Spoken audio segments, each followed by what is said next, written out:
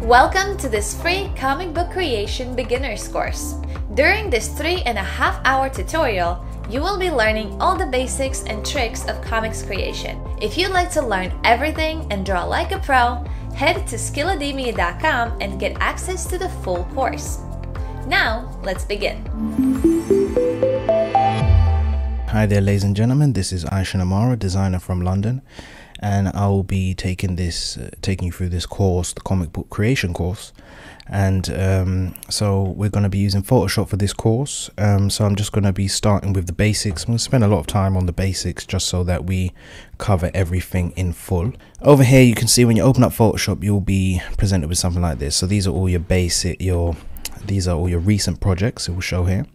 Um, so on the left hand side, if I just do create new, I'll present it with something that looks like this. Now, um, these are all our presets over here. So if I go to print, you got print, art illustration, web, mobile, etc. So uh, mainly we'll be using uh, print, art, and web. However, um, you can also create your own ones just by um, create a custom, um, uh, custom um, canvas.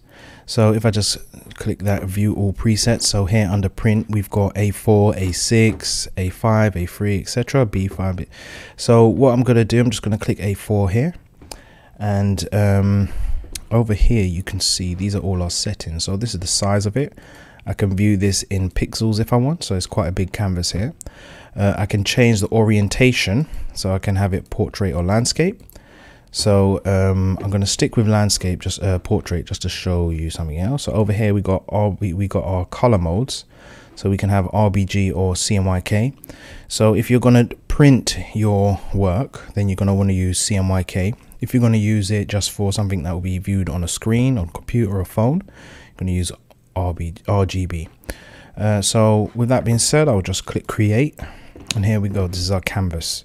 So if I now I'll just get a this is my brush. I'll just okay.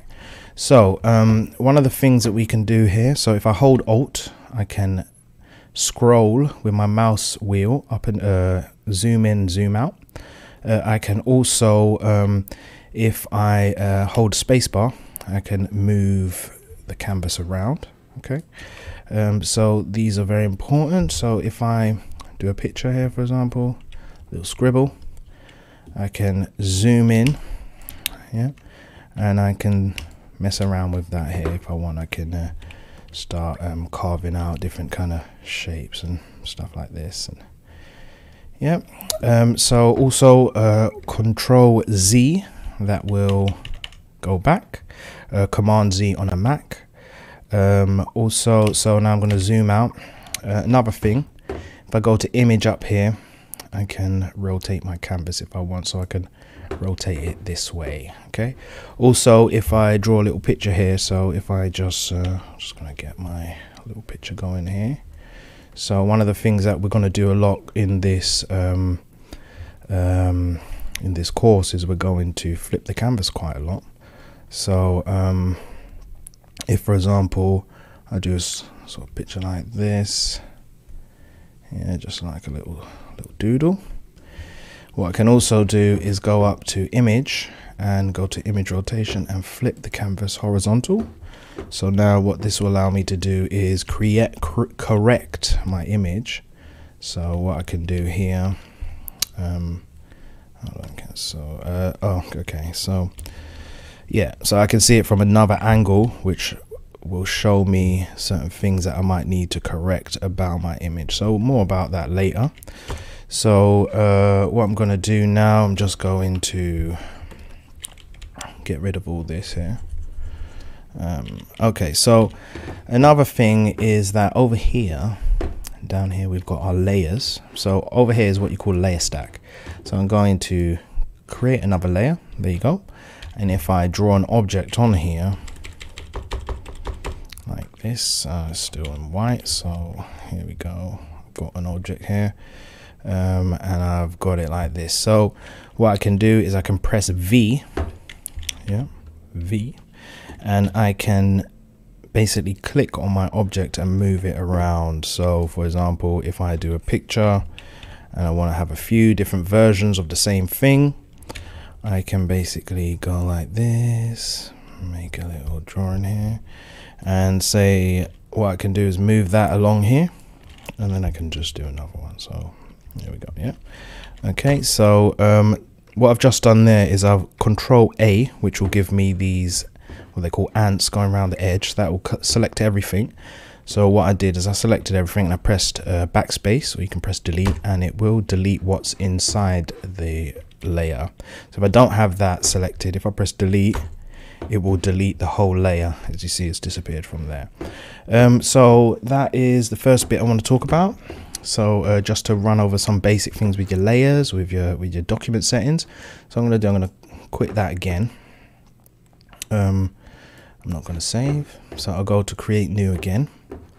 Now what I'm going to do this time is I'm just going to um, let's say I create enough let's just say A4 again. But this time I'm going to click artboards. So this is a sort of semi new feature of Photoshop. So what this allows us to do is have multiple um, images within one uh, document yeah? So for example I can um, have an image here. And if I want I can go up here click and hold this area here and I got this artboard tool. So if I click the actual artboard.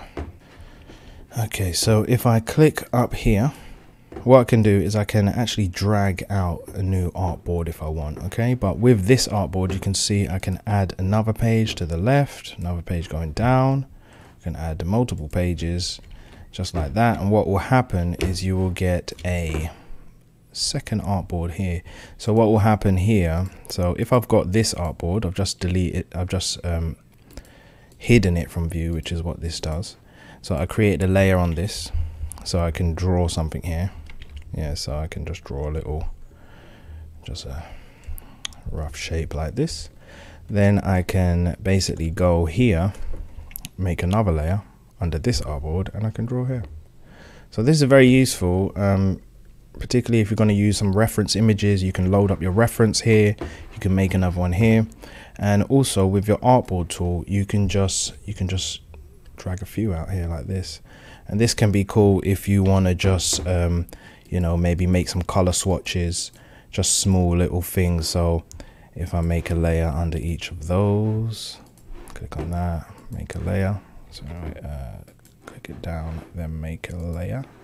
There we go so these are now here. That's that layer and that is click on this one and that's that layer okay?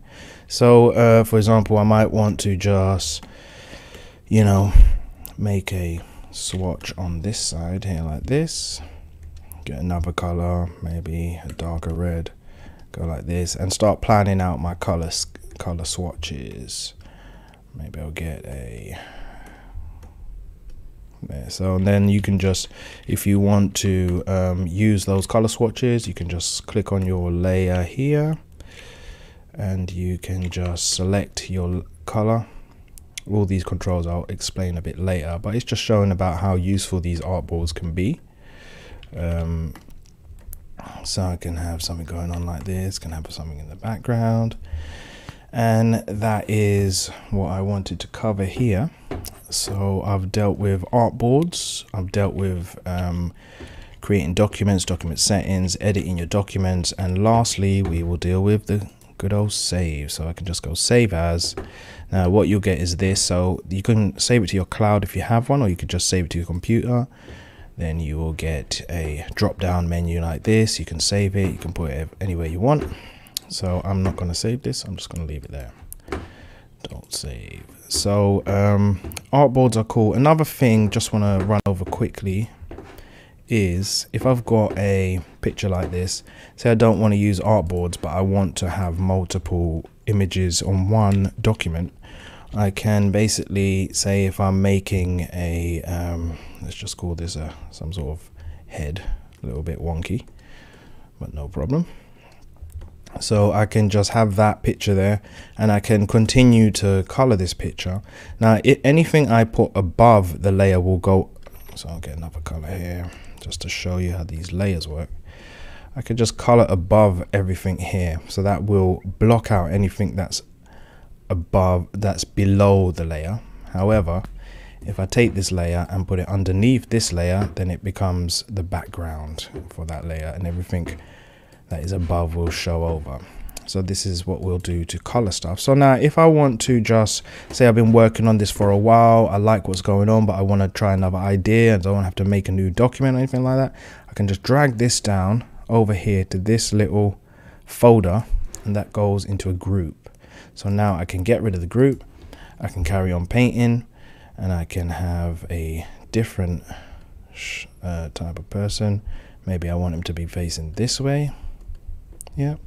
And then same thing goes, I can make that into a group and um, I can select this, which will drop down, it will show me what I got and I can basically make multiple pages. So when we make comics, this will come in handy quite a lot. Okay.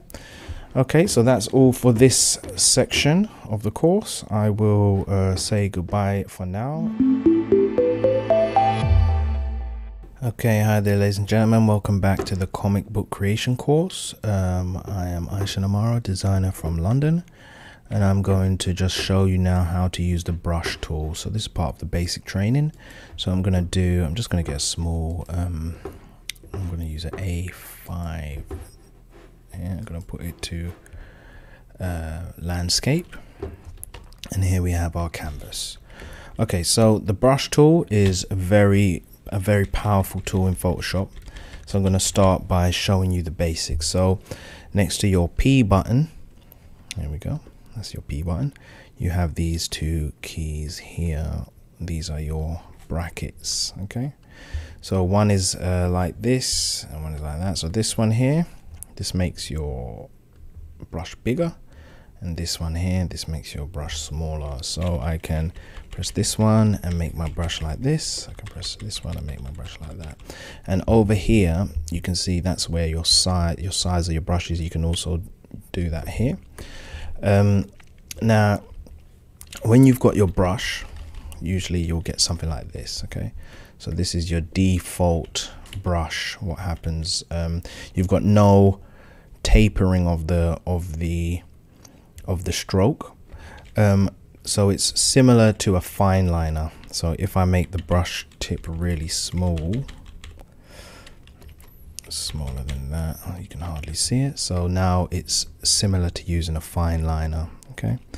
Um, so another thing is that um, so what I could do is I could start to make out my shape like this and if I want I can go up a couple notches like you use with your fine liners and add some line weight to it okay?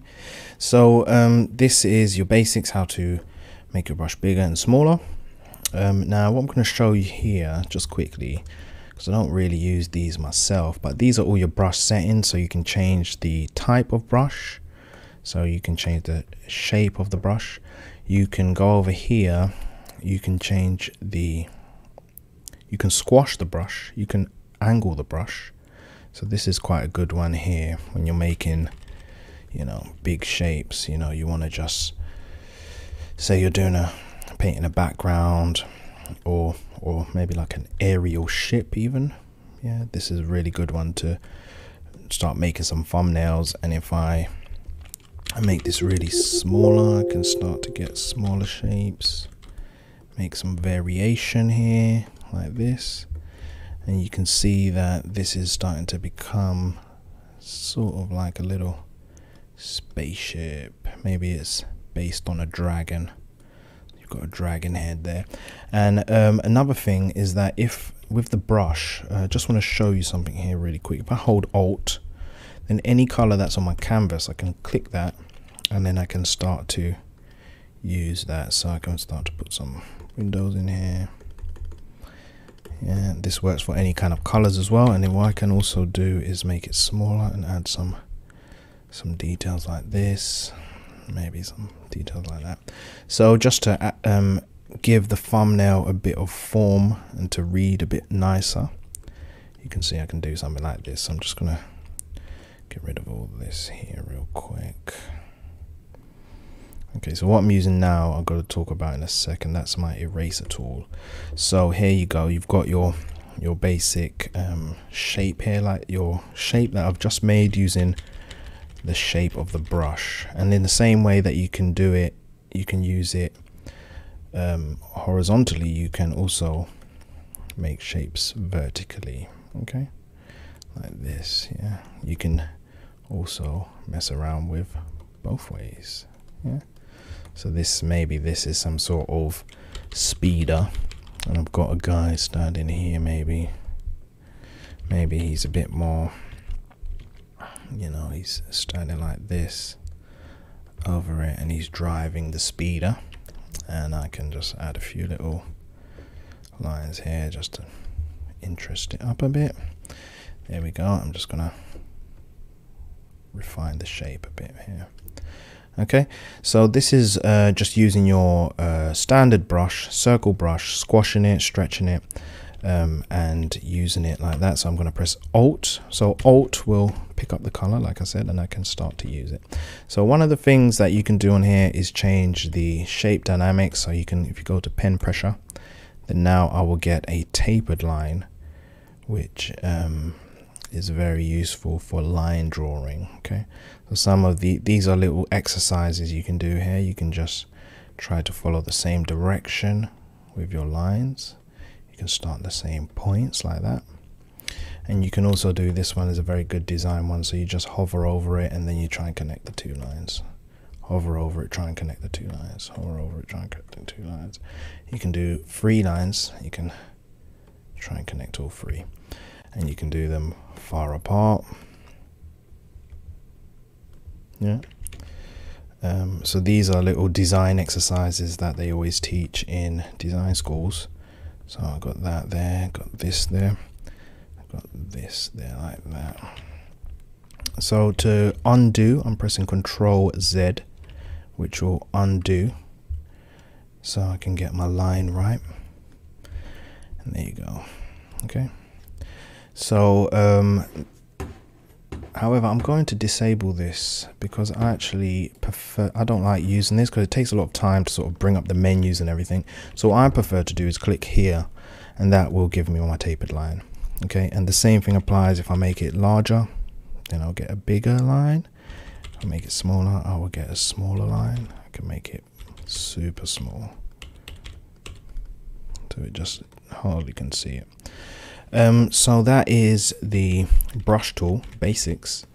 Um, now there's a couple other things I want to um, explain with the brush as well. And before I move on to the next section. So this is a very important tool to use, um, especially um, with what we're doing creating comic books. So over here, if I click that, that will give me my opacity settings. So now the lighter I press, the lighter it, it will be more of a gray. And the harder I press, it will start to be black. Okay, so this is very good for if I was gonna say sort of sketch an object here, sketch a shape, and then after I want to go over and I can start to build up my lines. Um, another way that this could be good is if you just you start with a light sketch, then you take it off, and now we're into our inking mode. So in comic books, you would always start with pencils and then you would go into inking. Okay, so um, this is this is what how you can use the brush in Photoshop. So you can start with your basic soft brush and then go over by turning this off and it becomes your inking brush. Okay. Um, the other thing which I want to cover is this here, the flow. So if I take this off, see I've got this shape here, yeah, and I want to indicate that there's some tone on this shape, yeah. So you can see that this is black, yeah, um, but maybe I don't want it to be full black, so I can click here to opacity, and I can start to. It will start to be grey, and I can start to add tone like this. Now, one of the things that happens is that you can see these little kind of Let's zoom in a bit. So to zoom in, I'm pressing Control,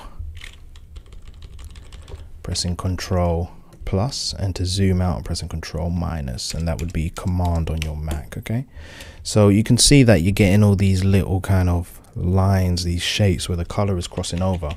So to avoid that, especially when you're rendering, is that you want to take down the flow okay so we'll take the flow right down and now when I'm drawing I'm getting a much softer a softer application of the tone okay?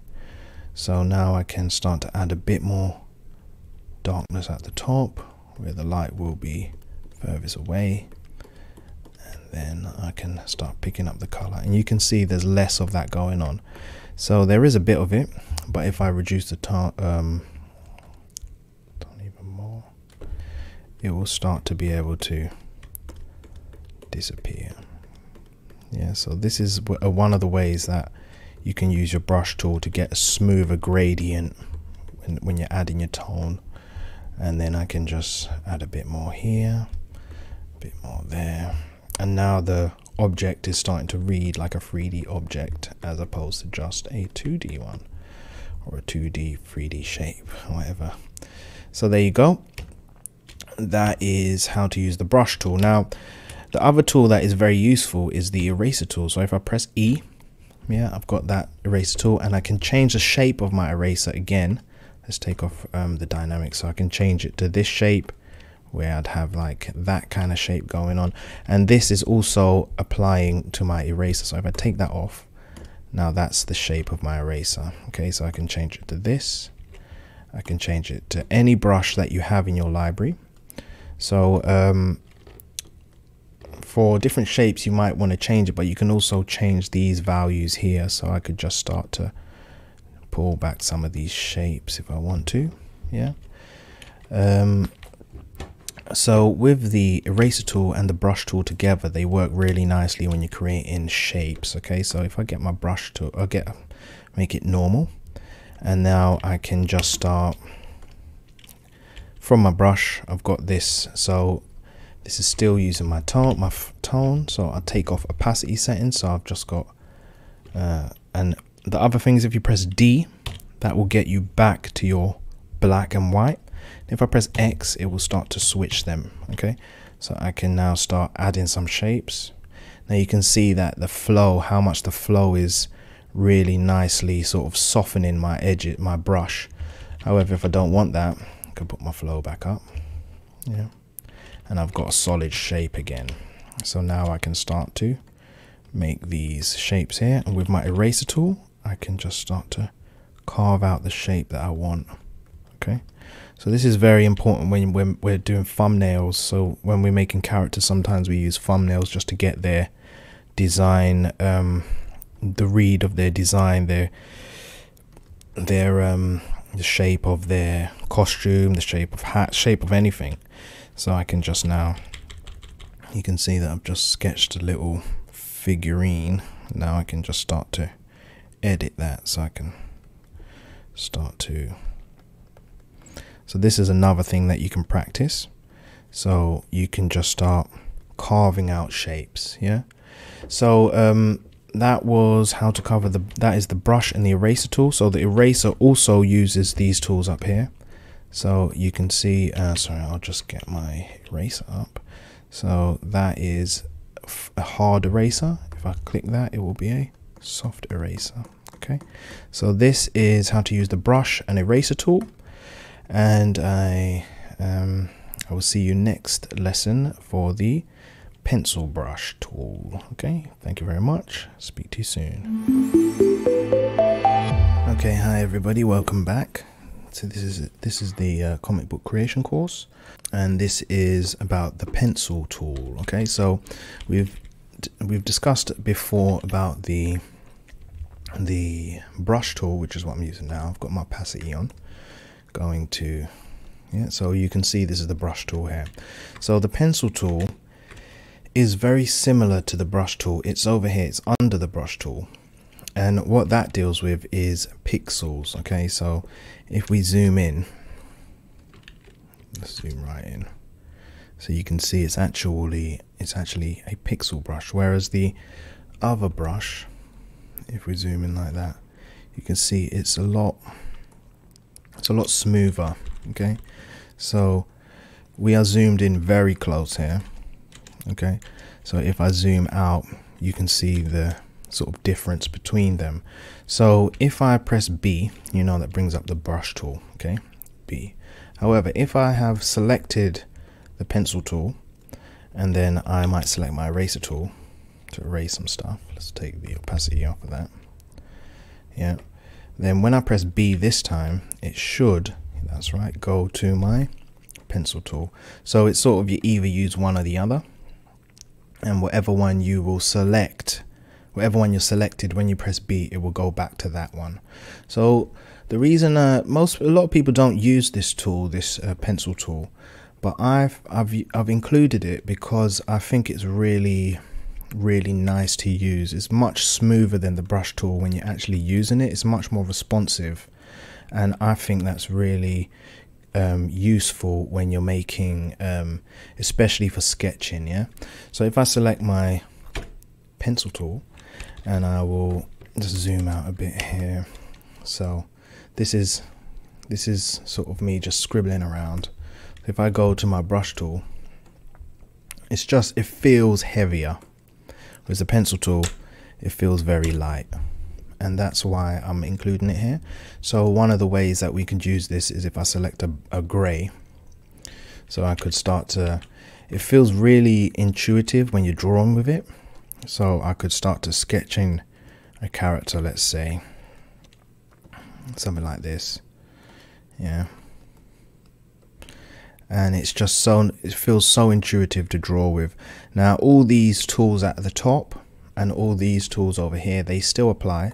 It's just a different way photoshop is is creating the line. It's using hard pixels as opposed to sort of soft um, soft gradate, uh, gradiated pixels so here we go i'm just sketching in like this and it's really nice to to, to use. So I'm just including that because you might want to um, start using something like this, you know, just for your, when you're getting used to Photoshop, drawing on Photoshop, have a mess around with using this pencil tool as well as the brush tool, okay?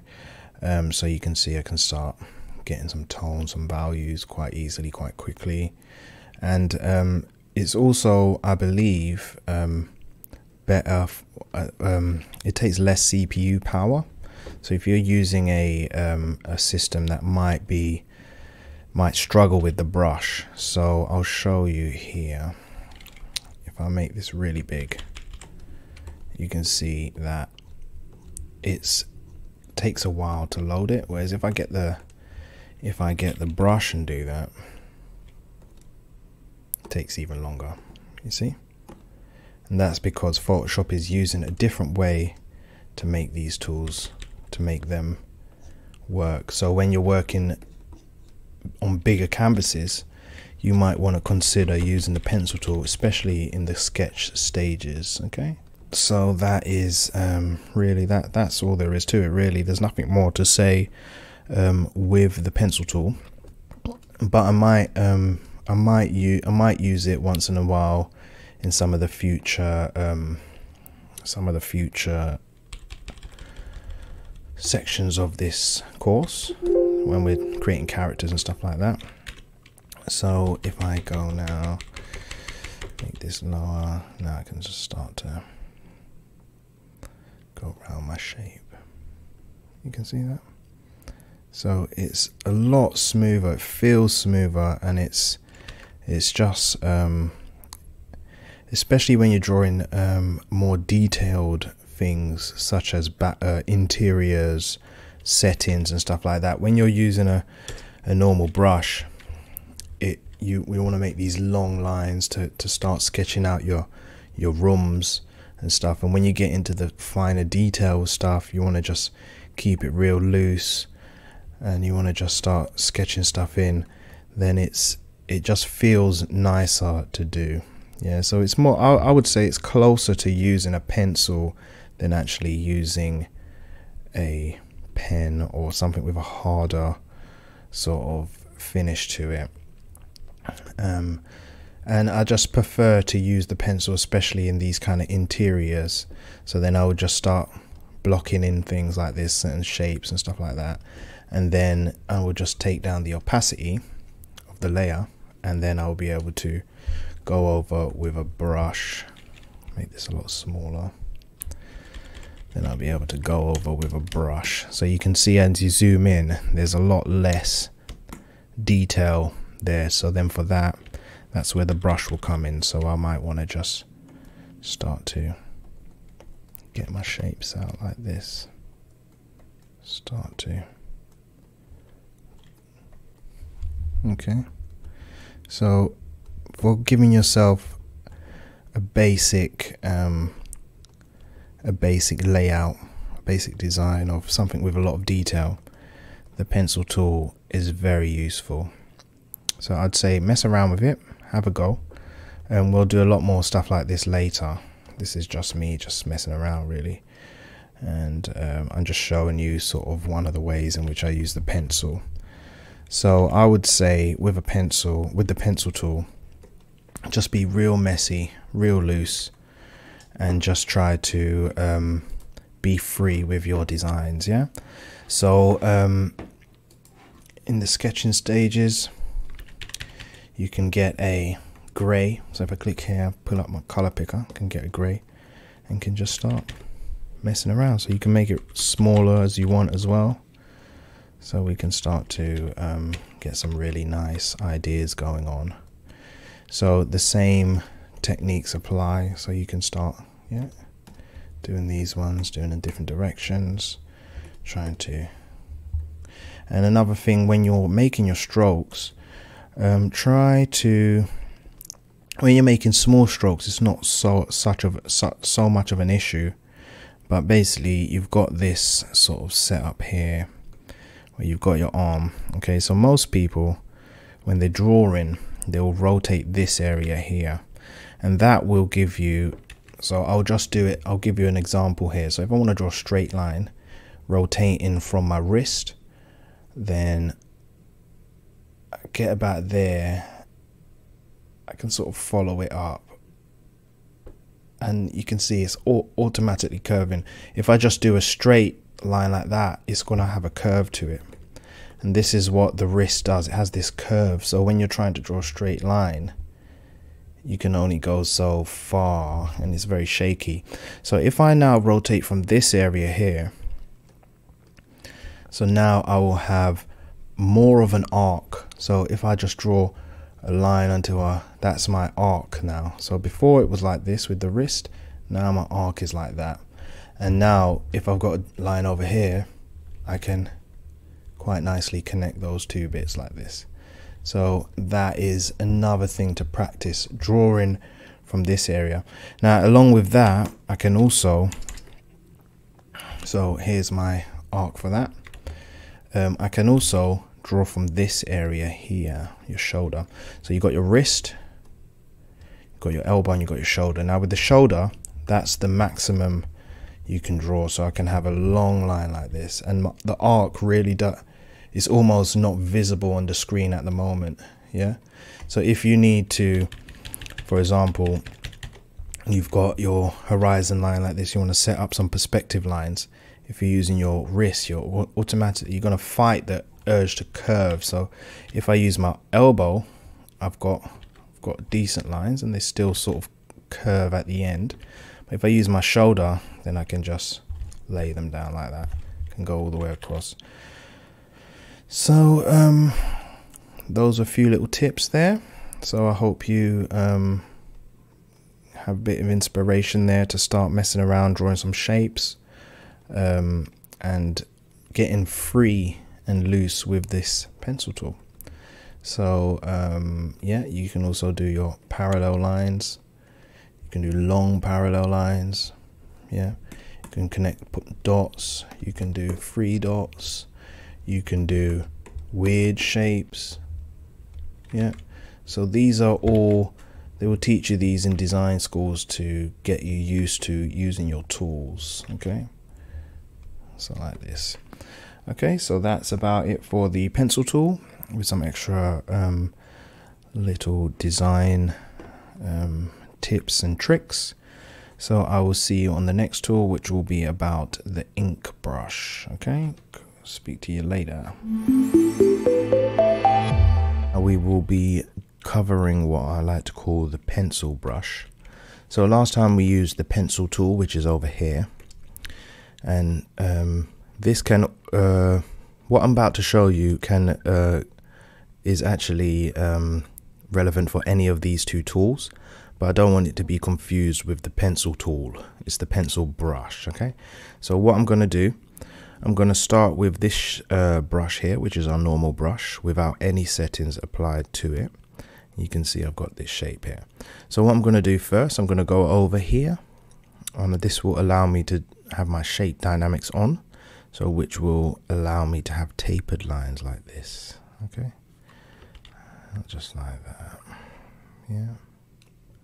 And I can make them thinner by the by the press. I can make them harder with as much as I press into the brush okay? So that's the first thing you're going to do. The second thing you're going to do is this up here. You're going to touch the opacity which is going to allow me to have these gray lines where I can now start to build up my lines. And this is the basic what I like to call the pencil brush. Um, so you can see I'm just using a normal round brush but I've just added these settings to it which allow me to have these really nice light strokes where I can add pressure. And I'm also going to have my flow quite low because um, with the flow as you make it even lower it will become much more like a pencil like a very soft pencil. And for things like animation designing characters this is really really useful okay? So what I'm going to do now I'm just going to delete all that. I'm just going to introduce a little bit to the idea of um, comics and how we're going to use these brushes okay? So first of all um, what you usually have is some sort of narrative some sort of script or if you're making the comic yourself just some sort of idea of what's going to happen in the comic. Um, so me personally I just um, I draw out my comics sort of in a rough sense. I'll have a basic idea of what's going to happen but I just sort of just start drawing it on a scrap paper just to then that will be my first draft. But usually in comics you'll have a, a script which will be given to what's called the pencil artist. So the pencil artist will start to do what i'm doing right now. So they'll usually make these little thumbnails and um, these thumbnails will be your basic layout so then once the pencil artist has finished um, their drawings, then they will hand it over to the inker and the inker will um, refine the drawings using ink. Sometimes they will add um, shadows and then that will then go over to the colorist. So there are these three, three basic um, uh, parts to making a comic. In Japan, however, um, a lot of the times the uh, manga artists will pencil and ink their own drawings and even color at times. So here I've just basically laid out a, a basic page. So say for example, I've got this scene here and I might have some sort of, uh, some sort of, I'm just gonna lay in the, I'm just gonna put my flow up a little bit. So I might have a tree over here like this.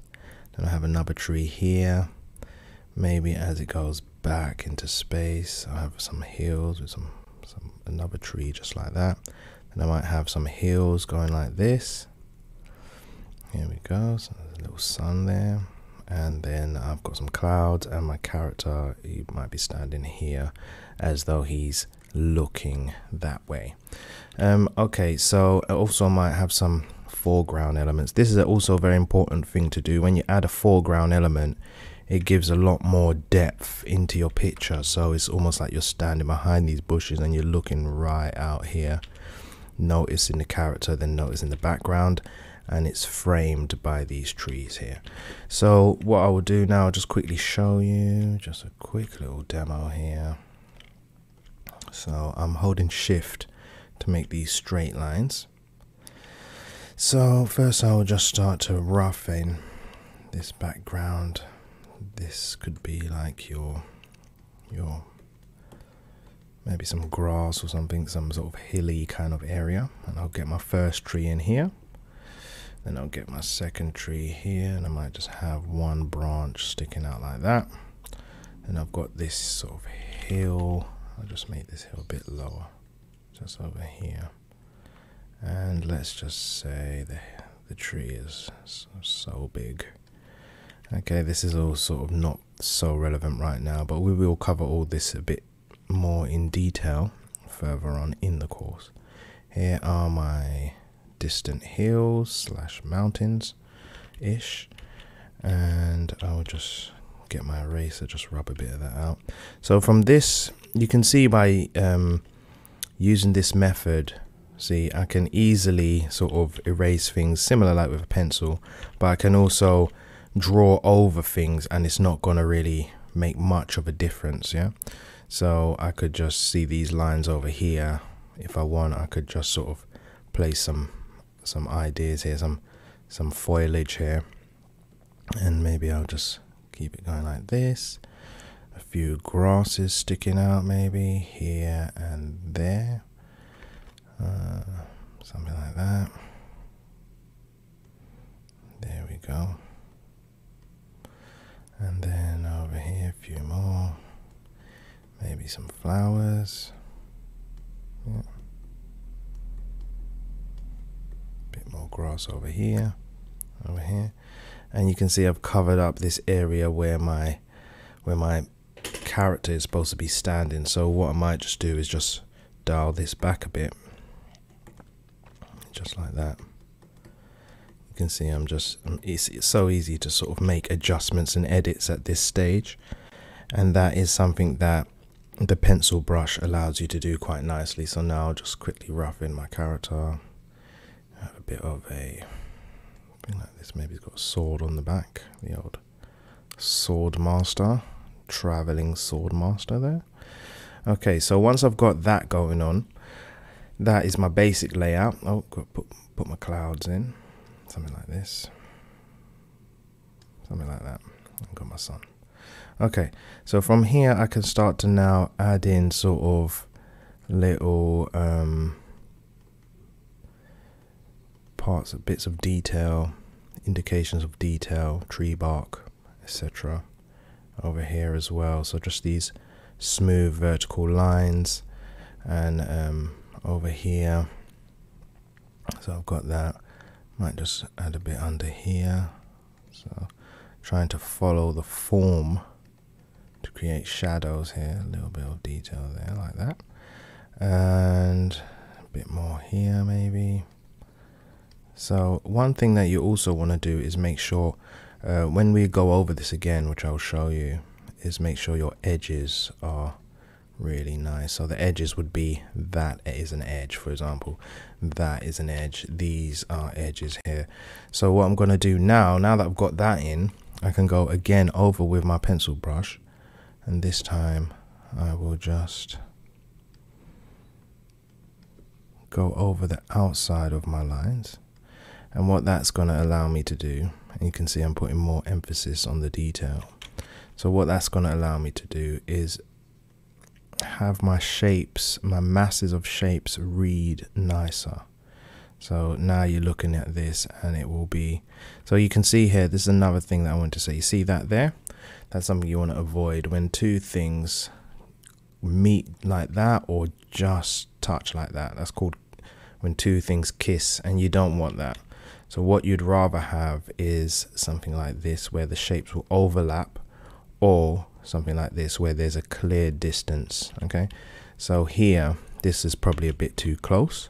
So what I could do is I could either shorten it by making it that big or I could elongate in it to make it make sure that it's much further.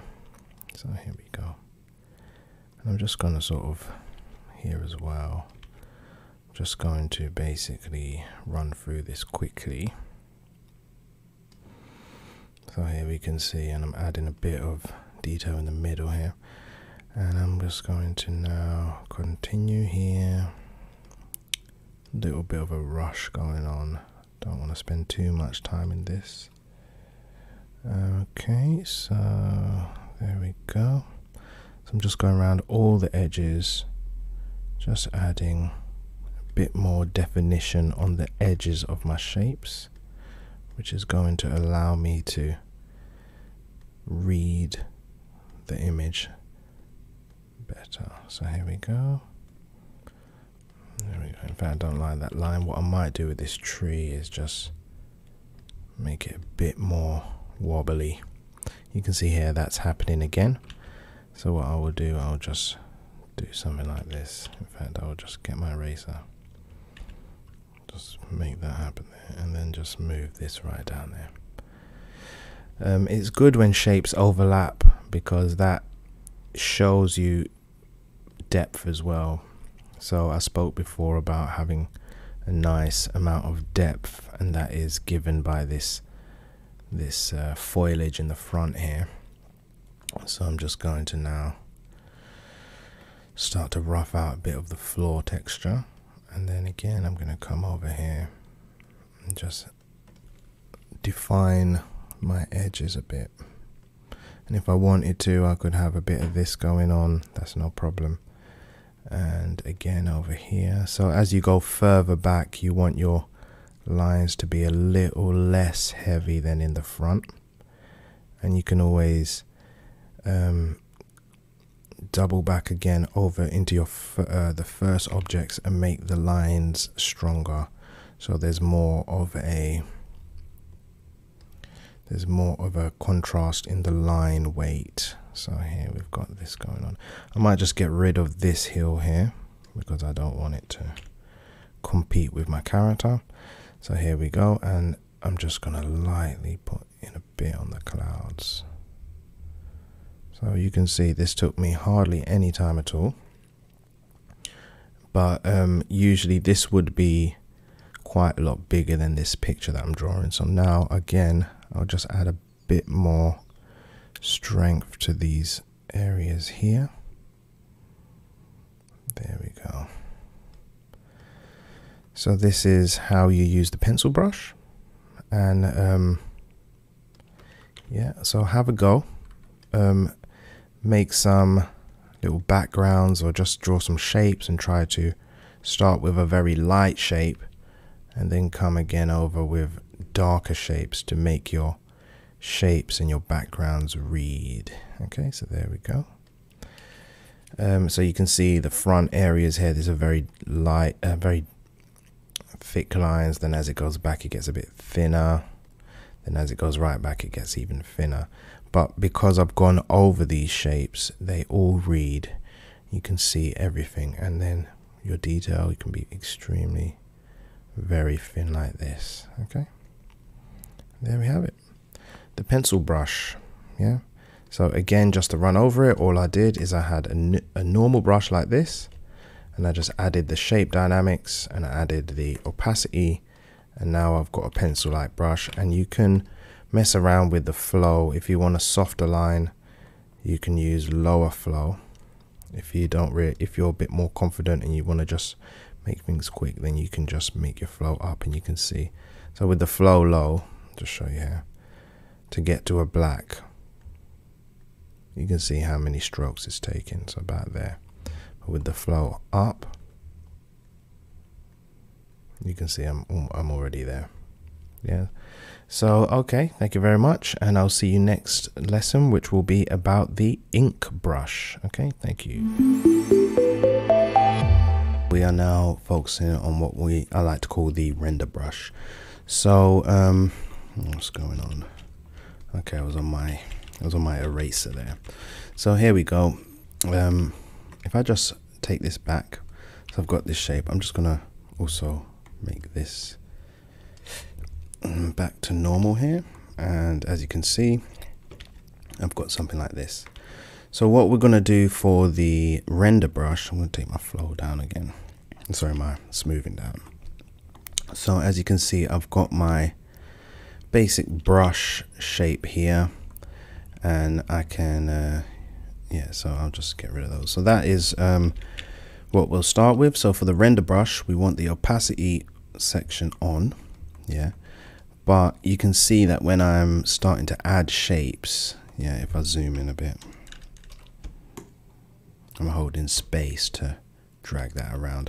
So you can see we're getting these sort of overlapping sort of um, marks here, which is you know, like here and here and here and here. And that's something what we don't want for rendering. You want a nice smooth transition from shades. And so what I'll do is I will just get my brush back and we've got that on. So now we're going to need to have a flow right down.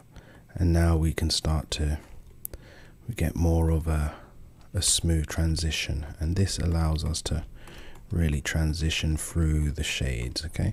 And the lower you put it, the better it is. It almost becomes like an airbrush. So that is our render brush, okay? So what I'm going to do now, I'm just going to show you with this example just what we can do with the render brush. So I'll make another layer. Um, I'll put this underneath so you can see I drag that layer under here and I'm going to start by just um, just giving a, a rough wash of my whole canvas here like that. So this is important. Um, a lot of people just um, also what people do is they will just fill the whole layer in in gray. So I could do that as well but I'm just gonna do this way for now. And here is where you start to now add some definition. I'm gonna put a bit more flow because I think that's not enough yeah. So I'm now gonna just start going over the shapes that are in the foreground that are closer to your vision and I'm going to add darker tones to them. So you can see I'm just adding darker values. And some people prefer also to start from the back and work their way forward. Other people like to start from the forward from from close up and work their way back. Uh, sorry and work their way into the distance um, me personally, I sort of mix it up really. I don't really have one rule. Um, so here I'm just adding some black. You can make your brush bigger to get bigger areas. So in the beginning, you'll start off sort of very loosely, very loosely, getting different shades and tones here. Different shades really of your black. Here we go. And you can just start adding more here. And as it now transitions into the four into the mids area I will start to use less. So I'm going to start to use less here. Just a little bit of tone. So this is just adding tone to my to my picture here. Might want him to have maybe some sort of dark grey and his hair would be quite dark. The hilt of the sword will be dark there. Goes on like this. So then, um, as I carry on, I can just keep adding tone, especially in the places I've indicated have shadow. Yeah.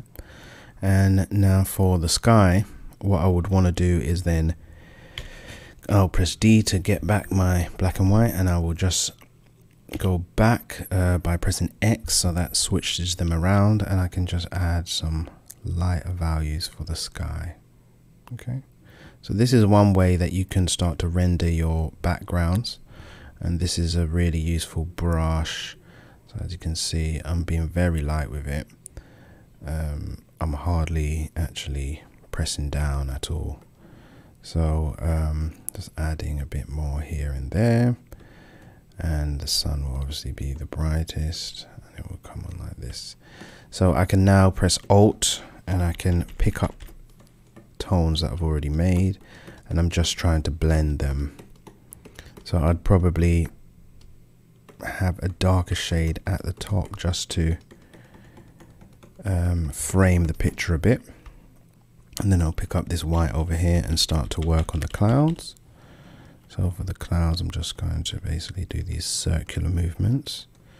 And that will give me an underside which is in shadow because clouds are sort of like 3D objects floating through the sky. So you want to give an indication that there is light and shadow on the clouds as well. So here you can see just quickly I've added all these different tones, these shades, and I can then start to double back over and add a bit more definition to to the values that I've got filling in the blanks. Yeah. And so um, that's about it with the render brush. Okay so we can just do that just giving it a bit more tone here and then I can sort of start to add highlights. So if I make this much smaller I can then start to go over adding little bits of light. So this is a bit like painting with light. So I'm going to add a bit to the, to leaves to the foliage. Yeah. And this is going to also make it seem like there's more form going on. So here as well just adding a bit of light so this is just a really rough just showing you how you can take a pencil drawing and add some some uh, shading to it okay? So that's that. So just um, like that. So I might want to add a bit more dark in my foreground especially in the corners just so that it really shows that it's in the foreground here.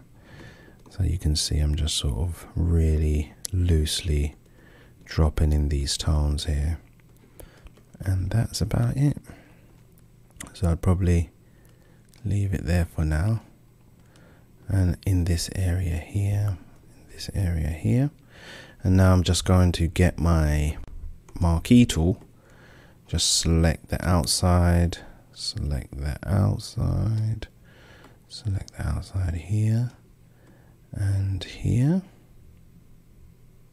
So I'm holding shift to add to my selection. And just press delete. Boom. There is our tonal exploration into this um, into this picture.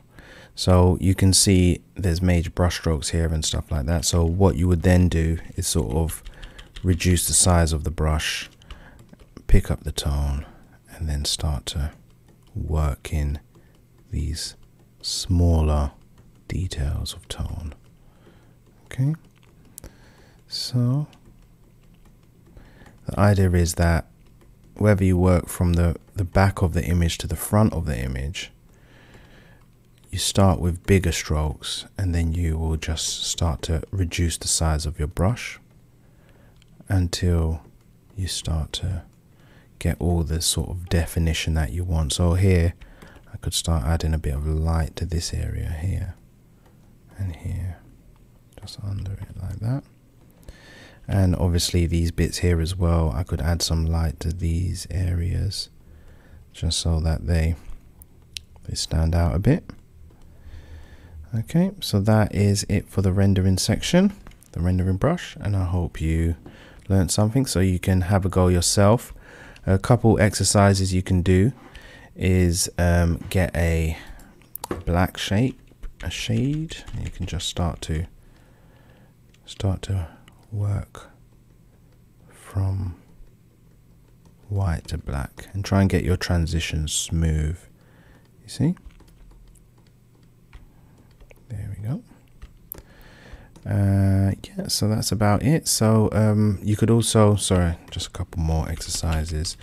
Um, you could also incorporate everything we've done. So say you get a basic shape like this, um, something like that yeah and now you can sort of start to go you could ink it so you can get your ink brush so if I click that take the opacity off put that in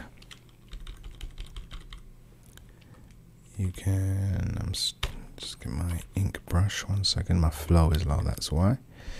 So now I've got my ink so now I can ink the shape. Like this.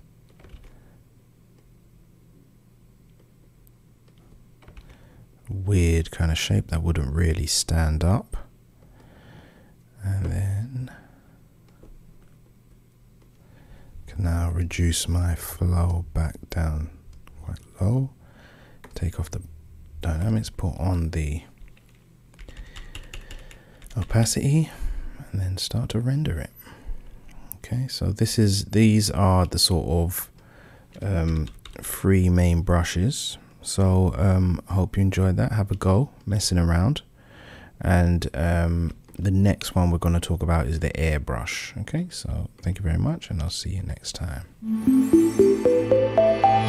Today we will be running over the ink brush. Okay, so uh, in the previous lesson we spoke about the different stages of um, making a comic. So you start with your pencil layout, something like this, and then you will uh, send it over to the next department or sometimes the same one, and they will ink the the the comic. Okay, so that's what we're gonna do today. So if I select my brush tool, there we go. Just press B, and I've uh, what I'm gonna do. I'm just gonna revert the settings back to a normal brush. So that's it. This is with no settings on at all, and you can see I've got this uh, this sort of hard line, just like that. And what I will do for my ink brush, I'll just put the shape dynamics on. And there you can see I've got a tapered brush okay? And I can go from soft to thin I can do that. Yeah and uh, also what you can do this is a preference I don't usually do it myself but you can come over here to where your brush settings are. You can just slightly squash your brush here and just turn it to the side a little bit. And then you've got this you've got a slightly different type of shape here. And this is good because um, it gives your brush um, just a little bit of variation when you do certain shapes. Yeah so these sort of shapes here like that you get this different kind of thick to thin okay? You can also mess around with your smoothing so you can put that up just a bit. This will compromise your um, your computer loading so here we go. You can see those lines are a lot smoother now. Okay, so that's what we're going to do. Uh, so what I'm going to show you just quickly, I'm just going to ink some of this drawing here. So when we zoom in, you can see that it's still quite rough. And what would normally happen is you would do this uh, type of pencil layout much bigger. So it would probably take out take up more of the page. So I'm just going to enlarge it a little bit. So just press Control T to transform and here we go. So I press enter and now I'm there. So what I will do um, I will just go over here and I will just take down the fill. You can also take down the opacity it's up to you. And that will allow me to have um, to see the image more faintly. Okay so I'll make a new layer here and I'll just start to use this new brush to just give some. Now, in this stage as well, you might want to add a few little parts here and there just to so you can see here these shapes here so they're kind of the same size so I might want to just just variate the size of everything and just give it a lot more variation so here I might want to just, again, just take your time with this. And with your grasses, so if I was to draw like that, that's okay. But what would probably be better is if I sort of just taper it at the end there. And traditionally, this would be done with actually dip pens, so ink pens which you dip into ink. So calligraphy pens really. And um, this is really big in Japanese animation as well. So if you get a chance to have a look at some of these books where it's just uh, they haven't added the color and you can see how nicely they they design their shapes yeah just like this so I'm just going over everything but this is also going to be a much slower it it will be a slower process. So you, you you're not going to be this is where you're not loose anymore. You're really defining your shapes. Use control z as well to go back if you need. And yeah that's that's really what this ink brush is about.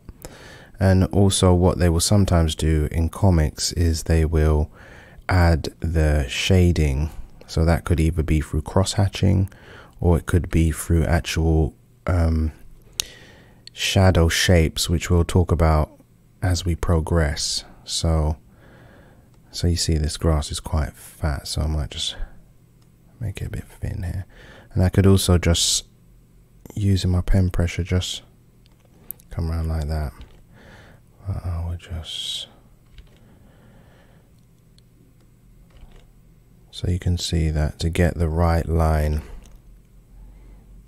is a task. Um, but I would recommend actually picking up some black ink and having a go at doing it the old fashioned way because really it's quite therapeutic. And as you do it you actually sort of feel the paper scraping. It's very it's much better than in my opinion than drawing with fine liners um, you you really feel the texture of the paper and you it just improves your inking ability as well. So once you, if you do a few pictures with real ink and then you come over back to Photoshop, you, you feel like you've just, you know, leveled up somehow. So here you go. I'm just going to continue here. So the edges are very important. So I'm just making sure I've got everything just like that and really cleanly and just adding some few little articles here, a few little details, and here is where I can go a bit more, you know, just to. So I've got these shapes here, just want to add a bit of that here. And now you can see I'm sort of getting a bit thinner with my lines, um, which is what we spoke about before about how your lines should as they as the background recede as it, as it goes further off into the distance you want your lines to be a bit thinner and continue to get thinner as they go through. So um, that's about it really. Um, I will just do a bit more of this um, just so that we can have something to work with on the next lesson here we go that's a flower Okay. And you can also mess around with using different types of brushes with these settings. So here we go. Just going to make sure this goes nicely behind these shapes. Here we go. Okay, and I'm just going to quickly, I'm going to do the rest a bit quicker. There we go. Just got this tree here. And um, here is where you can also add a little bit of um, a little bit more detail in the edges. So before this was completely round but I just wanted to make it a little bit more wobbly. Just like that. So then one hill just comes down like this and one heel goes down here um, Yes, I've still got quite a lot of foliage to do. This is probably one of the most time consuming parts of drawing, but it's also the most rewarding because when you then turn off your layer, you start to see a neat drawing taking place here. So I'm just going to carry on, add in a bit of this texture here. I can add a knot if I want, like that. And that's about it.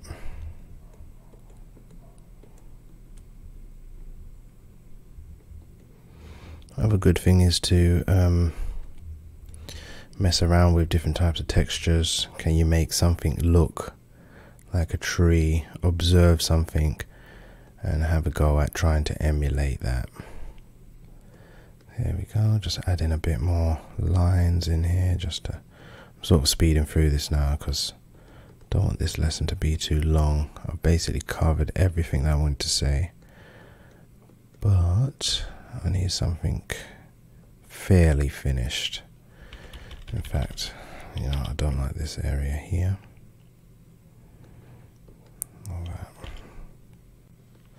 So you can see that when you try to rush things, it does not always work and it ends up putting you back in the long run.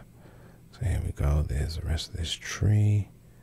Have some interlinking lines to simulate the bark. Just add in a bit more here. There we go, nearly there. So this flower sort of comes out like that, goes here, and I'll put my sun in, get a little bit of the cloud. Here we go. There we go. So now with this sword, so with the sword, I'm going to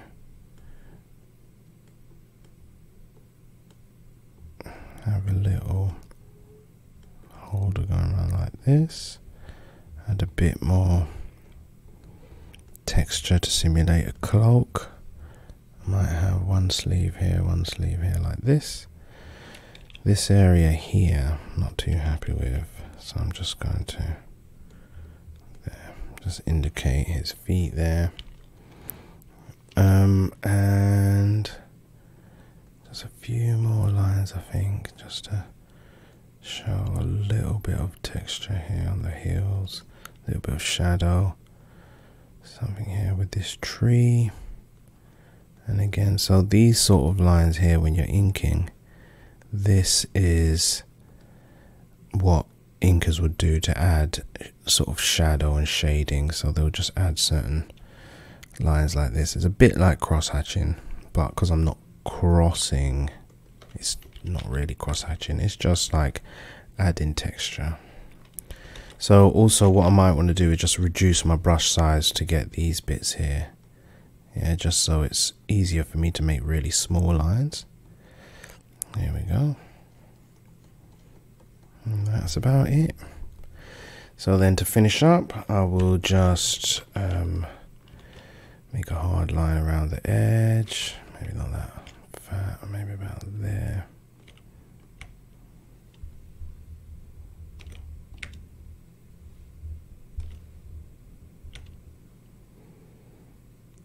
There we go.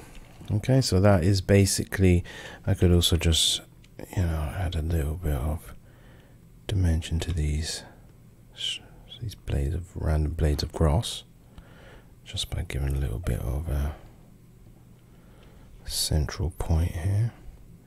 I could also go as wild as I want with these grasses. I could sort of have clumps of grass. I could have different types of bushes if you do a lot of reference, you'll be able to find different types of bushes and grasses, which will add more believability to your um, to your pictures. I'm just going to add a little bit of shade in here.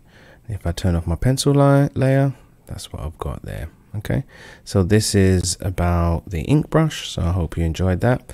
Have a go, mess around, and you can also sort of double back over your shapes, give certain uh, certain areas a bit more line weight you can see that sort of change in the look of everything so you give a little bit more line weight to the bottom of the shapes just like this yeah just like that and here like this there we go and that's about it. So I hope you enjoyed that. Um, have a go at making some layouts, some backgrounds, things like that. Um, I could also, um, if I want to, you know, carry on with the detail in this, but we'll just leave it there. So thank you very much, and I'll see you in the next lesson, which will be about the render brush. Now I can also go with my eraser and tame some of these lines here like this. So it's a very, it's a very, um, it's a very time consuming and and um, you have to have a lot of fidelity. So you could, I'll show you a few exercises you can mess around with just before I go. So you can do um, again your your connecting lines.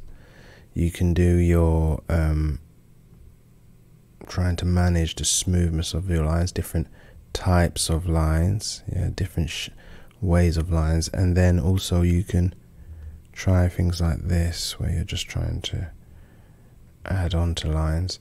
You can do things like this where then you try and add some weight to one side of the line, like that.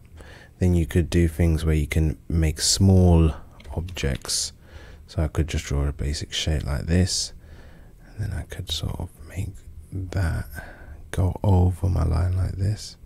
Um, I could also another thing which is a good one is if you if I say get a grey, let's just use a grey here, and just make a shape like this, then I sort of start carving it out with this eraser. Yeah, like that. Okay, just like this. I'm not spending much time on it here. Then I go back to my brush, then I get my press D to go back to the black and white, and then just start tracing the edges. This is a really good exercise. So you can see that wasn't so good, so I can go back. There we go. So by doing these exercises, you'll get a lot more brush fidelity and you can try and do things where you just you know you might just want to do something like that something like this this is another way you can make clean lines where I'm just basically not worried about overshooting my lines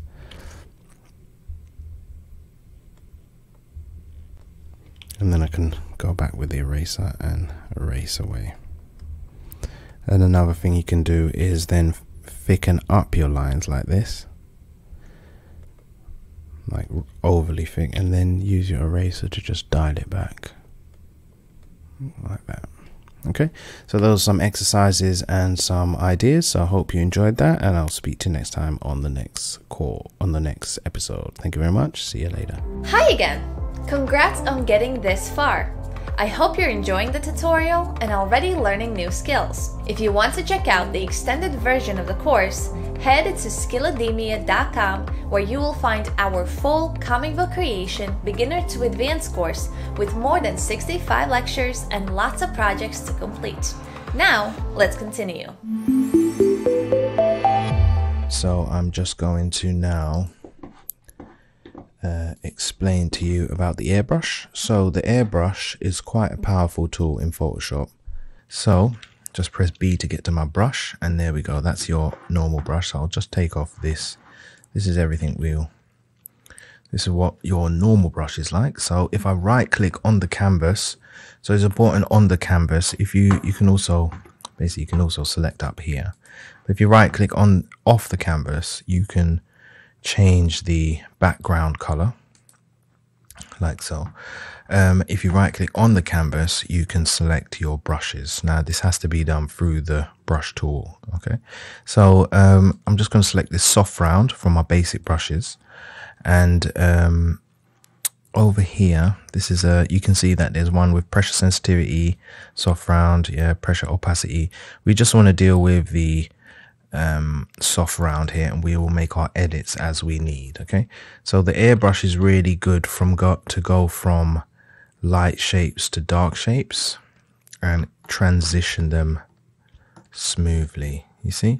So I'll just show you here. It's also good for sort of blocking in your your um your different tonal exploration. So what I could do here, so I'll just get my airbrush, just make it quite big, and I will just start to, what's going on? I've got the white selected, so I press D, so I've got my black selected, and I can put in some basic color. So that's quite dark, so what I'll do, I'll just lay in a bit, I'll get press Alt, select that color, and now I can lay in the rest. Okay so you can see that already it's good for just these big washes of color here. So now if I start from this from the foreground get back my black I can now start adding in tone. Now you can see that that's quite a lot. So what I will do is I'll take down the flow a bit here and now it's a lot more manageable. Okay, so I can now start adding in various shapes. So with the um, airbrush, normally you don't want your size um, dynamics on when you're doing these big sort of areas. But then say for with the grass, for example, so I'll just add a bit in this tree here. So you can see I'm already starting to get a nice value um, read here. So I'll just add a bit to the tree here, a bit over here, a little bit there, a little bit here. So you can see this is looking kind of messy at the moment, but I can also, if I reduce the size, I can just start to pick up colors and start to work it in a bit. Here we go. So again here, I might add a little bit here. And there we go. So usually you don't use the size dynamics, um, but if I, I can in certain situations, for example, with this grass. So if I use a size dynamic, instead of looking like this, it will look like this here. So sometimes with smaller objects like grass, this could be more useful. Yeah, so you can see I can just start adding in different tones, sorry, different shades here, just to accentuate the form here and to just add these hard to reach areas just like that um, but mainly what the um, airbrush is really good for which I like it for is the sky so here at the top of the page here so I might just get a darker area here so I'll take this off now okay and I'll start to touch this sky in here like that just to give it a bit of a border. Here we go. And I'll pick up this white and I'll start to add a bit of light in the sky as well. So you can see that by doing that, you can get these really cool transitions from dark to light. Yeah. And I can just sort of work it up a bit like that as well. Get some in my. And you can see how quick that was for me to do and I can then go back with my highlights and just start adding it in here. So and that's basically the airbrush tool. So um, if you look at this sky here I'll just work it a little bit more. Don't want it to be too dark. Just want a little bit of dark around the top. So if I show you that sky here compared with the previous one we did, you can see that the transition is much smoother. Yeah. So that is um, the airbrush tool. So some things that you can do to uh, mess around with the airbrush tool. So I'm just going to now press M for the marquee tool. Uh, I've got my circular marquee tool here. So I will cover this in a second. But basically if I go over here click and hold. I've got a circular one or a rectangular one. So I just want to use my rectangular one just to go around the edges. Just like that. And I'm holding shift to add to my selection. And I will just get rid of all that around the edge. There we go. So you can see how quick it is to just get these tonal reads for your for your art. Um, it does look a bit blotty sometimes, but by zooming out again, making your airbrush a bit bigger, you can start to get rid of some of those bits there. And I just. It's also good um, used in conjunction with the previous uh, way. So if I add that on now, you can see that it's, if I take it out, add it in, it gives a bit of depth there and you can sort of use that as your base and then make another layer and then go to your render brush and start to add in finer details. So a um, couple exercises you can do. I'll just get rid of all of this. Just go over. I'll use this layer, not that layer. I will use this layer. So you can go to your colors and you can say, for example, if I just get this marquee tool again, and I just make a little shape here. So I can now select my airbrush and I need to select a layer that is active and I can select maybe a red. And I can start to work that in there. So you can see I've got different variations of the red as well going on. And then I can maybe get a yellow orange like that. Start to put that in here. Yeah. And then I can get a yellow so let's make it a little bit more orangey a bit brighter. And here we go. So you can create these really nice transitions. And when you're using um, when you're making comics and stuff you can make selections. So I'll cover this as well later but basically I can now sort of make a selection here. Let's just say that's a good looking figure and maybe he's got his one hand in the pocket. Maybe he's got one hand on the old sword there.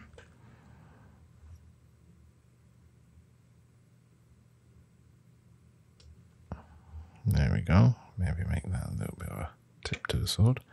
And then I can sort of start if I press Control H I can hide that. And I can start adding in and I can sort of add some dark so you can really sort of start playing with the levels of of your gradients and stuff. You can really start having fun with it. So I suggest have a go at making certain shapes like this. I could do another one. Here we go. Um, I'll just grab the yellow. So here we go like this. Bit of the red over here. Doing more of a diagonally diagonal one here. If I get my can make any kind of shape like that and then start messing around by putting different colors in. And you can mess around with different colors you can sort of go to maybe I want some blue in there randomly and there we go yeah? So have a go i'm messing around with the airbrush. Um, as I said, it comes in very useful when you're doing actual pictures, but when you're coloring images as well, it's very useful. Like, see here, I could have um, had a design of a character and then just do a sort of wash. So you've got a basic gradient going over the character after I've done all my rendering, and it gives a, a bit of um, a bit more depth and it gives it a bit more richness. So uh, yeah, that's it for the airbrush tool. Hope you enjoyed. We've covered quite a lot of the basics. We're going to continue with the basics today. And um, what we're dealing with now is the lasso tool and the selection tool. Well, selection, um, yeah, the selections. Okay, so what we've got here, if you press L, you'll get this tool over here. This is the lasso tool. And here is our selection tool as well. We can make selections and here we can make lasso shapes. Okay. So what I'm going to do quickly, I'm just going to make my brush quite big. I'm going to give it a black color. Right now it's selecting the um, round brush. I'm just going to get the hard brush, take off the opacity. Now I've got a hard brush there. So I'm going to press L, get my lasso tool, and this is what I'm basically showing you today. So we can create shapes like this and we can fill them in. Okay. So with the lasso tool, a couple things you're going to want to know is that basically, um, so let's get rid of that. If I make a selection, say that's my selection, you'll get these ants, what they call ants going around the edge. So if I press control D, that makes a deselection. Okay, so I press this, control D. Now if I press control H, or Command H on a Mac, it will hide the selection. So the selection is still there and I can just paint it like that. Okay, so this is um, a very powerful tool when creating images for design, for um, all, all kind of things, for, for just designing your objects that you might have in your comic. Also, you can make backgrounds. You can do it pretty much a lot with this tool here. So I'm going to quickly show you just an example of that. So that is my selection there. If I select a white, I can start to, well, I've deselected. Okay, so let's go back a few steps. Okay, So I'll make this shape here. Here we go. I'll press Control H to hide it and I will select a D, uh, press D to get my black and that is my shape that I've got there. So now if I press Control H you can see it's still selected. So I'll go back to my lasso tool and if I press Shift, hold Shift, then I can actually add to that shape. So because it's still hidden, so I'll just add, what's going on here? There you go. And I'm adding bits to my shape. Okay. And then I can go back to my brush. I can hide the selection and I can add more. So this is very cool. And, and also what I can do is I can make another, I'll make another shape here. Okay. So say I want to just carve that bit off. I can press control, I can hold alt and now I'm able to cut into the shape okay like that and I get my brush control H to hide and I can draw that shape okay so what I can also do while I'm still selecting it you can see I press control H to show it and I'll press control H again to hide it. So I can go here and turn on the opacity get a white and now I can start to can start to shade within that shape. Yeah so if I put my flow down so now I can start to really shade this shape and I can get these cool effects like this now this comes uh, real this will come in really handy when we start to design objects and start to paint characters so you can see here that is just a random shape now with this top shape here you can see that it's not selected anymore. But if I press W, that will get me the magic wand tool. But there's also a few different tools with this here. So it might be selected on one of these. you want to go to the wand. So now I can click that and get my selection back if I want it. So I'm, I do not really want it. So I'm going to press Control D to deselect. I'll get my lasso tool back. And now what I can do is I can start to go over this and this is something you can practice as well so I can just start making these shapes here like that. And now I'll get back to my brush hide the selection. I'll pick up this gray here and I'll make my brush a bit bigger. And now I'll be able to start getting in different levels of tone. And I can start adding some highlights here some highlights here. And now as you can see I'm using my render brush but I could also get my um, airbrush. And this is much um, much better for rendering in this way. Yeah so if I just revert it back to a dark color here. And I've got the flow down low so that's why it's taken a long time to render it. But now I can just here we go. I can start to get these cool looking gradients. Okay. Um, also, uh, just to note, uh, basically, some of these brushes in the um, general brush section, they will have different um, different um, properties. So you can see here, this is soft round pressure size. So that means that the pressure on my pen will affect the size of it. So I'll just quickly show you here. So if I you can see that it's tapering. So if I get a black, make it a bit smaller, you can see that I'm getting these smaller edges. So with this particular um, technique of rendering shapes, you want just a regular soft round because that will just give you a smooth, a smooth um, shading across your shapes okay? So if I just um, just delete all of that. So now I will go back to my um, my lasso tool and I'm just going to start a little shape here. So you can see by holding shift I'm adding extra bits to my shape. And now I'm getting what's starting to look a bit like some sort of aircraft. Um, Yep. So now what I'll do is I'll get my hard round selected black. I'll hide the shape, take off my opacity pressure sensitivity, and I've got my shape there. So now I can get my lasso tool again and I can start to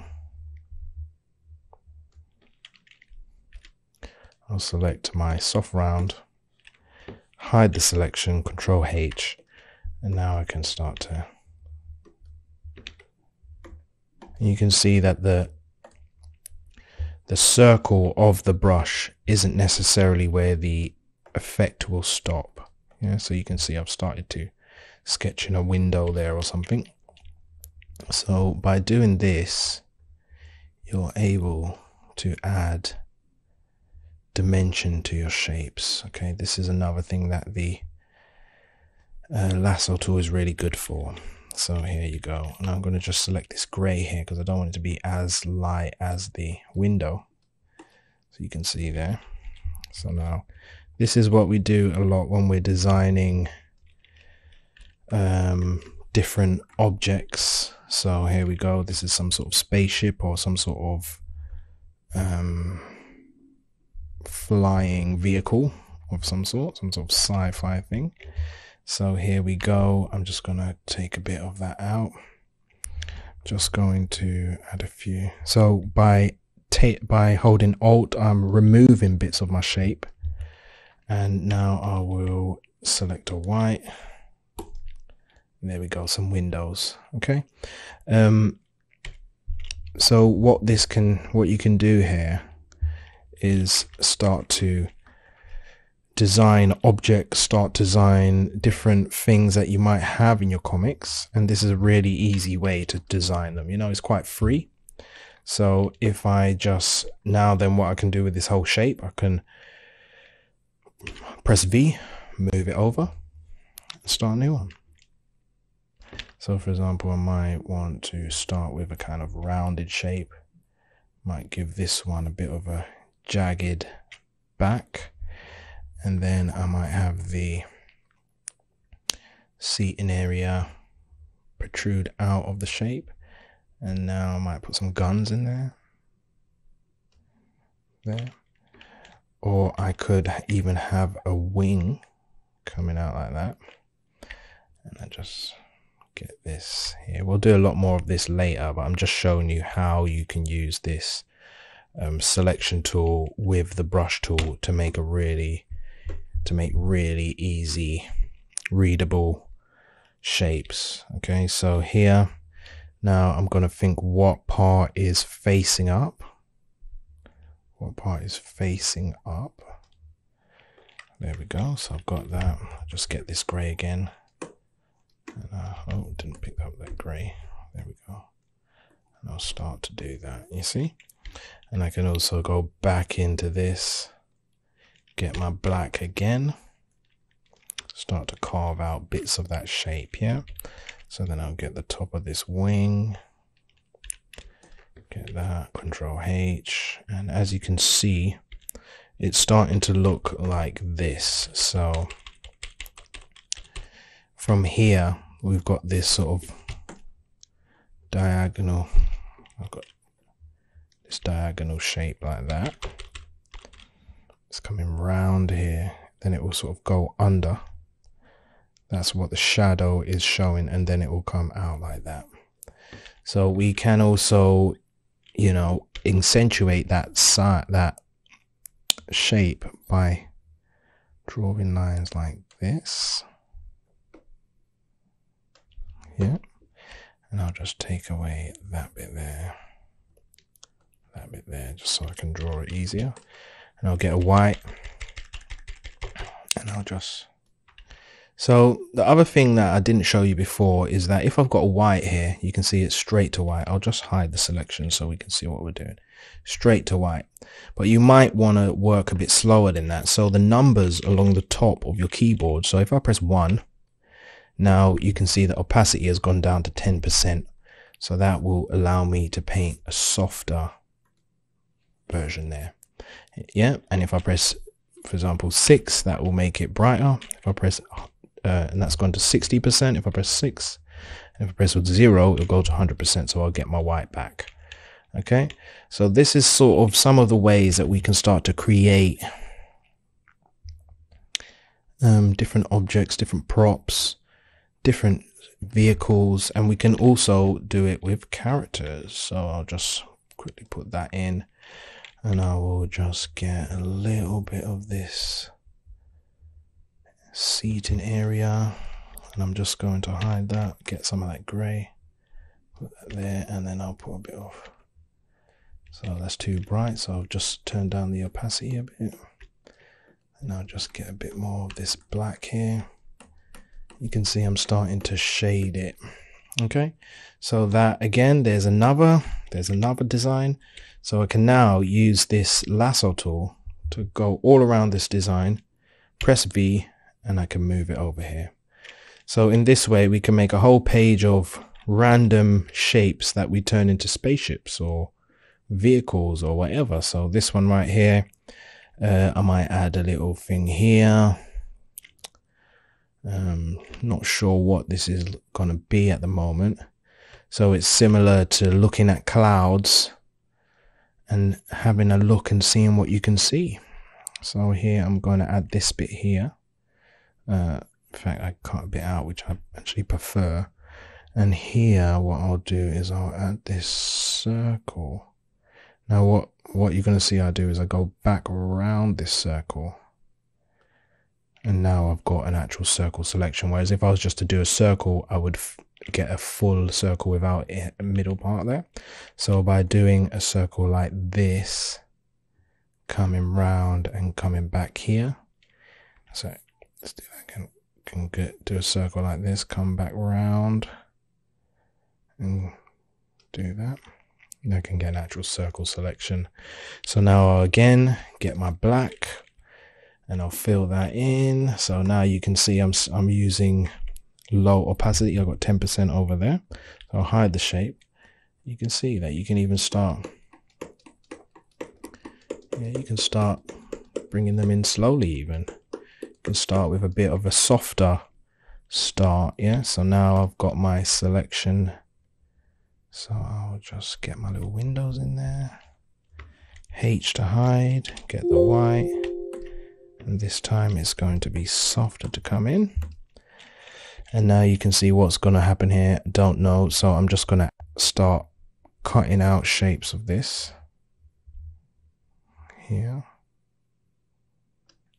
yeah, and this one here. So maybe this is going straight down and these are up to the side. Maybe, or in fact, I could even make those shadow areas. Yeah, so now what's happening is this is sorry about that. So this is coming straight down then it's going out and then it's coming straight down again. Okay so there we have it. A little bit of how to use the lasso tool. And um, you can practice this yourself by just trying to make a bunch of different shapes just going to go a bit I'm going to hide the selection you can make a bunch of shapes and seeing what could these shapes be. So even right now, I'm not sure that looks like some sort of flying vehicle. Maybe it's from another planet or something. Um, so now I've selected that, I can move it and then I can make one more. Um, so I'll just make this one quick. Here we go. In fact, let's just make this one a straight up car. Okay, and I'll just add a bit of dimension to it there. Okay, that's good enough. Just going to rush this one through. So here we go. Let's get back to the darker colors. So I've hidden the selection there. Might want to cut a bit of that shape off. So I can select that as well and press delete and that will go away. All right, so that's basically how to use the lasso tool. A little bit long on that one, but it's a very important tool and we'll use it a lot in this um, when we start to do a few more intricate shapes and stuff like that. Um, so here I'm just going to add a bit on that. Then I can just add a bit here, add a bit there. Maybe I want to pull out some of these. So you can see here I've made a shape. Now I'm just going to cut into it. And again, just here. And maybe, yeah, that'll be it. So I'll hide that, get the black, and then I've now got a door, got some little rims, some little spoilers, some well, spoiler would be over here. Could add a spoiler if I want. So my spoiler might have it some sort of weird spoiler like this. And then I'll just get the black, hide that, then just paint that in. Okay. And that's about it really.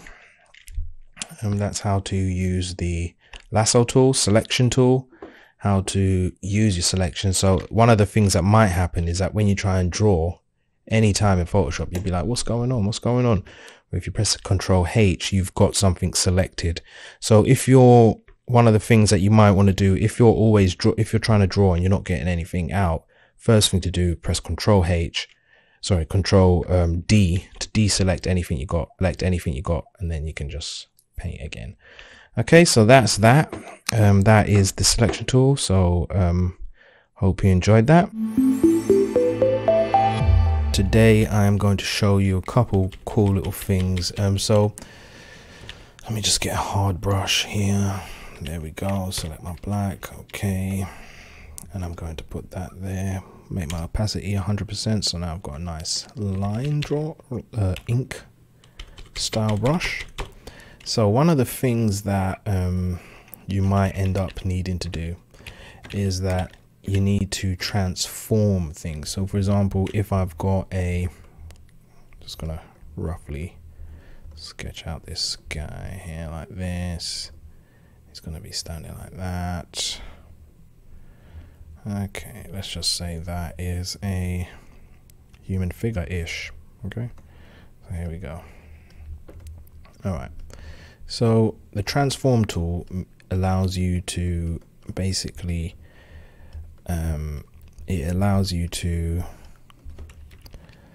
change this your your it allows you to tra yeah transform your selections okay? So i'm going to just show you that really quickly here.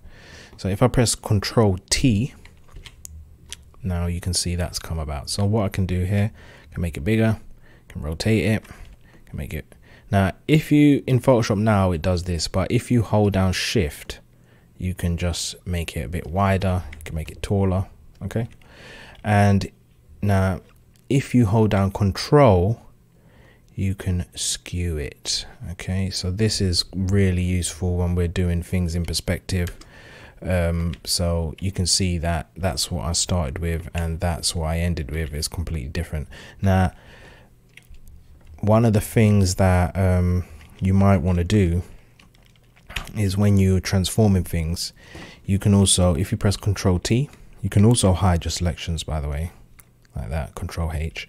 I'll bring it back. Now, if you right click over that, you've got all your different tools here. Okay, you can also flip horizontal, which is a very useful one. We're going to do that quite a lot. So by flipping things horizontally, it gives you a different, a completely new picture of, of what you're doing. It almost refreshes your design sense. So you can see here, might want to just take a bit of this shoulder out. Yeah, you can see this uh, this leg is much bigger. I might want to give it a bit more legs over here. Okay, this one's a bit longer. But uh, anyway, that's all. You know, this is just a quick sketch, quick design. But what I'm gonna, the reason why this is also really cool, this selection tool, is that when you're doing things in perspective, it becomes a very useful tool. So, for example, I'm just gonna move this guy over here. So I'm going to now just quickly show you. This is to be really rough. So here we go. Just doing some perspective lines here. So we'll cover this as well a bit later. So this is a one point perspective and I've got my grid set up there. So I'll just put a few up here as well. So by pressing L, I can select this whole thing. okay and I can press control uh, control X to cut it if I press control uh, V now it will paste it on a new layer and if I want it in the exact same place I press control shift V and it will paste it exactly where it was before so now what I'll do I'll just take this down a bit Alright, so I'm just doing that. Now I'm going to make a new layer. This is all really quickly just running through this. So say for example, I have a street coming down like this. Just going to move it like that. Alright, so, and then I've got a building coming up here like that. Okay, okay. Here we go. And then these guys will go that way. All right, so this is my basic um, building here. I'm to just do that as well. Okay, so let's say that's a building. Right now it just looks like a box. All right. So what I can do, um, I'm just going to quickly show you this. This is also uh, quite a nifty little tool. It's called the um, symmetry tool. So on a new layer, I will just, hold on, I need to press. So once you've, once you do your selection, you press enter and that will be your symmetry tool. Now you can draw in symmetry. So I'll make a new layer and I'm just going to now just rough in some windows like this. Boom boom boom. Mind you this is all just about the um, the um, transform tool okay? So this is I'm just using this as an example to quickly get some basic shapes in so I'll just call these my windows. Okay there we go and I've got one there one there and I'll make I'll make these like that these like that. Okay so this could be sort of like this area here. So what I'm gonna do I might have to actually extend this. Oh, my symmetry stone so to get the symmetry off you click this again symmetry off so now I'm just going to bring back my perspective lines and I'm just going to follow this building a bit further down. Just like that. And this was wrong anyway. Where's this? Okay, that's all on the wrong layer, which is fine. So here, that's what I want. So I'm just going to get rid of that top. This whole thing here, this whole thing here, this whole thing here. In a way, just starting again really. So I'm just going to do this so it's going to be a bit wider get to that line and now I've got the front of my building. So what I can do with this now so that's my windows.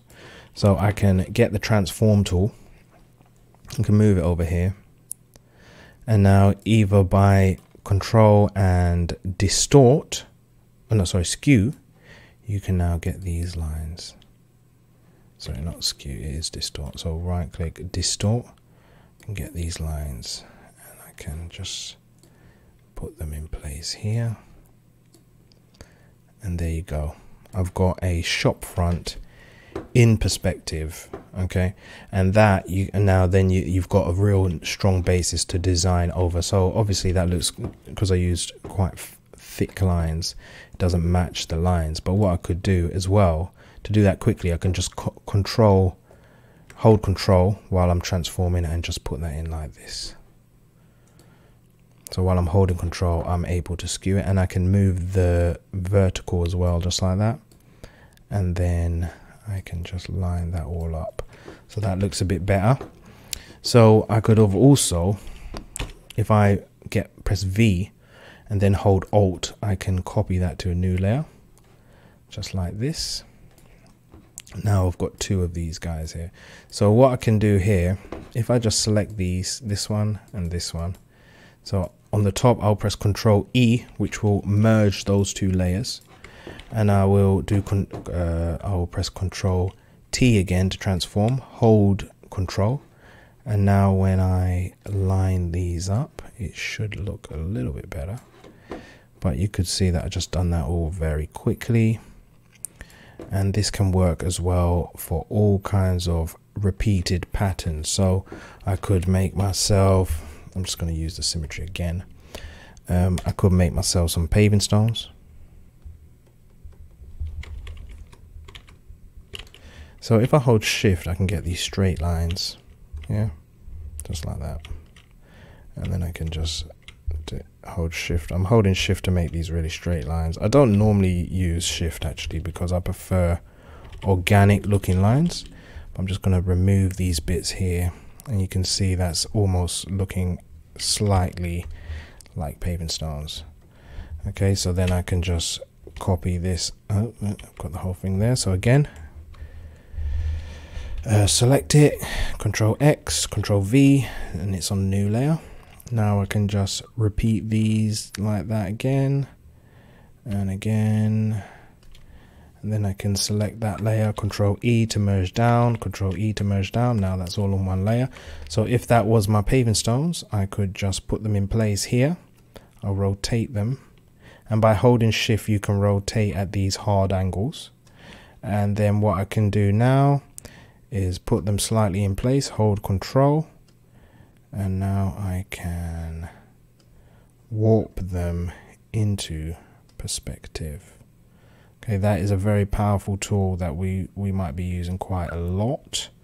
So let's see. So what we would need to do is as you can see this line at the top is making it so I cannot get them in line. But what you want to do is make sure that all your verticals are in line with your verticals and all your diagonals are in line with your diagonals on your perspective grid. So now I'll just, uh, now I've still got the symmetry selected, take that off. Now I'll press E to get my eraser and I'll just erase out these bits here. And you can see that you can easily drop in these different things and if I just now merge those together so it's all that's all on one layer can merge that together so that's all on one layer and turn down the opacity get rid of my perspective grid now I can just go in with my um, a new layer on top with my brush my line my ink brush and then I can start putting in the details using this as a guide yeah so when you want to draw something really quickly or you want to get a nice background in really quickly, but you don't want to spend all the time just measuring all the different objects. You can draw things flat and warp them into perspective. So that is another thing that this um, transform tool is really useful for in comics. Yeah, so if I just now take get rid of that, you can see it's starting to look more like a window or series of windows. So I'll just do this bit really quickly. So by holding shift and clicking, I'm getting straight lines. So if I do that, that's a straight line ish.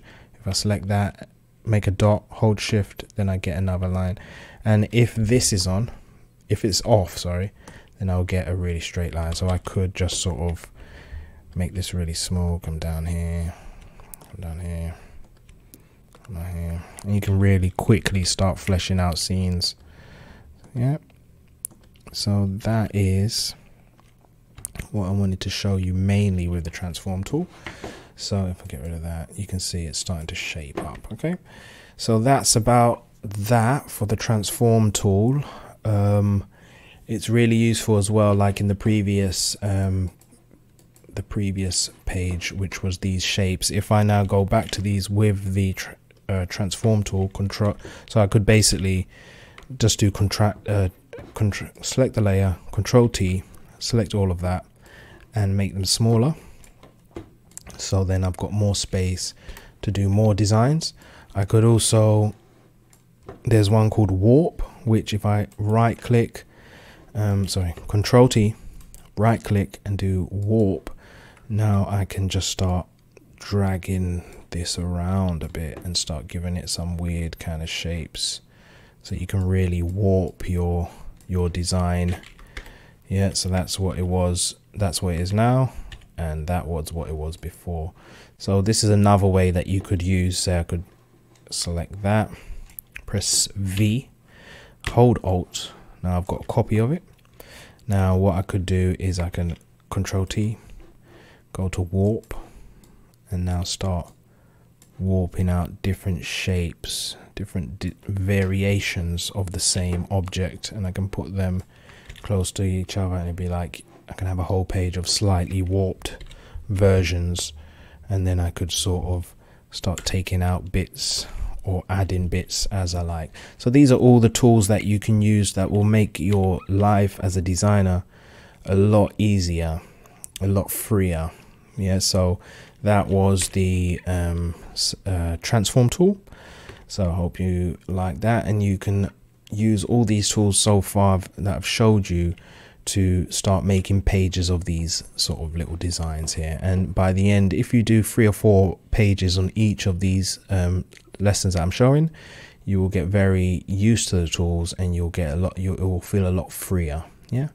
Okay so thank you very much and I'll see you next time. Today I'm going to show you about the color picker tool. Now this is quite a useful tool um, especially when you don't when you need to uh, work fast you need to pick up colors keep changing colors um, so first of all what I'm going to show you here if you go to windows you go to color uh, so what this usually looks like is I think this. So if you do color you'll get something like this. So over here you've got saturation then you add black and it gets to black you add white it gets to white and you add gray it gets to gray. So that is a color that is a shade and these are tones uh, sorry um, uh, tints and as you go to gray it will be a tone. So that's just your basic understanding of this color block. And then if you go around here you've got different colors. However I like to use this one which is the color wheel. And this um, is really cool. This is um, it, it, shows you the colors. So uh, we'll do this a bit later in in the color section. But you can yeah pick nice color schemes like this. Um, so that is one thing about color so over here you've got your shades this way you've got your tints that way and you've got your tones that way which I think is a lot easier to you know to use. So I can get a so I'm gonna get a yeah let's make a new layer. So I'll get a yellow. So I'll go back to my render brush by pressing opacity bringing down the flow. And now I've got this nice little area here. So now if I add a tone to it I start to get a grade starts to be a bit grayer and you can sort of move it around as well just in this goes more towards gray so yeah you can see that now if I add a tint to it you can see it starts to get lighter and if I add a shade then it's you got these real called dark. Now this is like a monochromatic color scheme. So what you can also do is not go so extreme with it all. So even if I just, you know, start messing around and start to get in this, it's more interesting than just this. Yeah, you've got that bright bit of color, but if you just start to add little bits here and there, variations of your color, starts to look more interesting and that is one of the key things about design is just making it everything look more interesting. Okay so you can see there that I'm quite easily able to blend things in and with the airbrush it would be even easier. But the airbrush does give quite a a very smooth um, smooth what do you call it um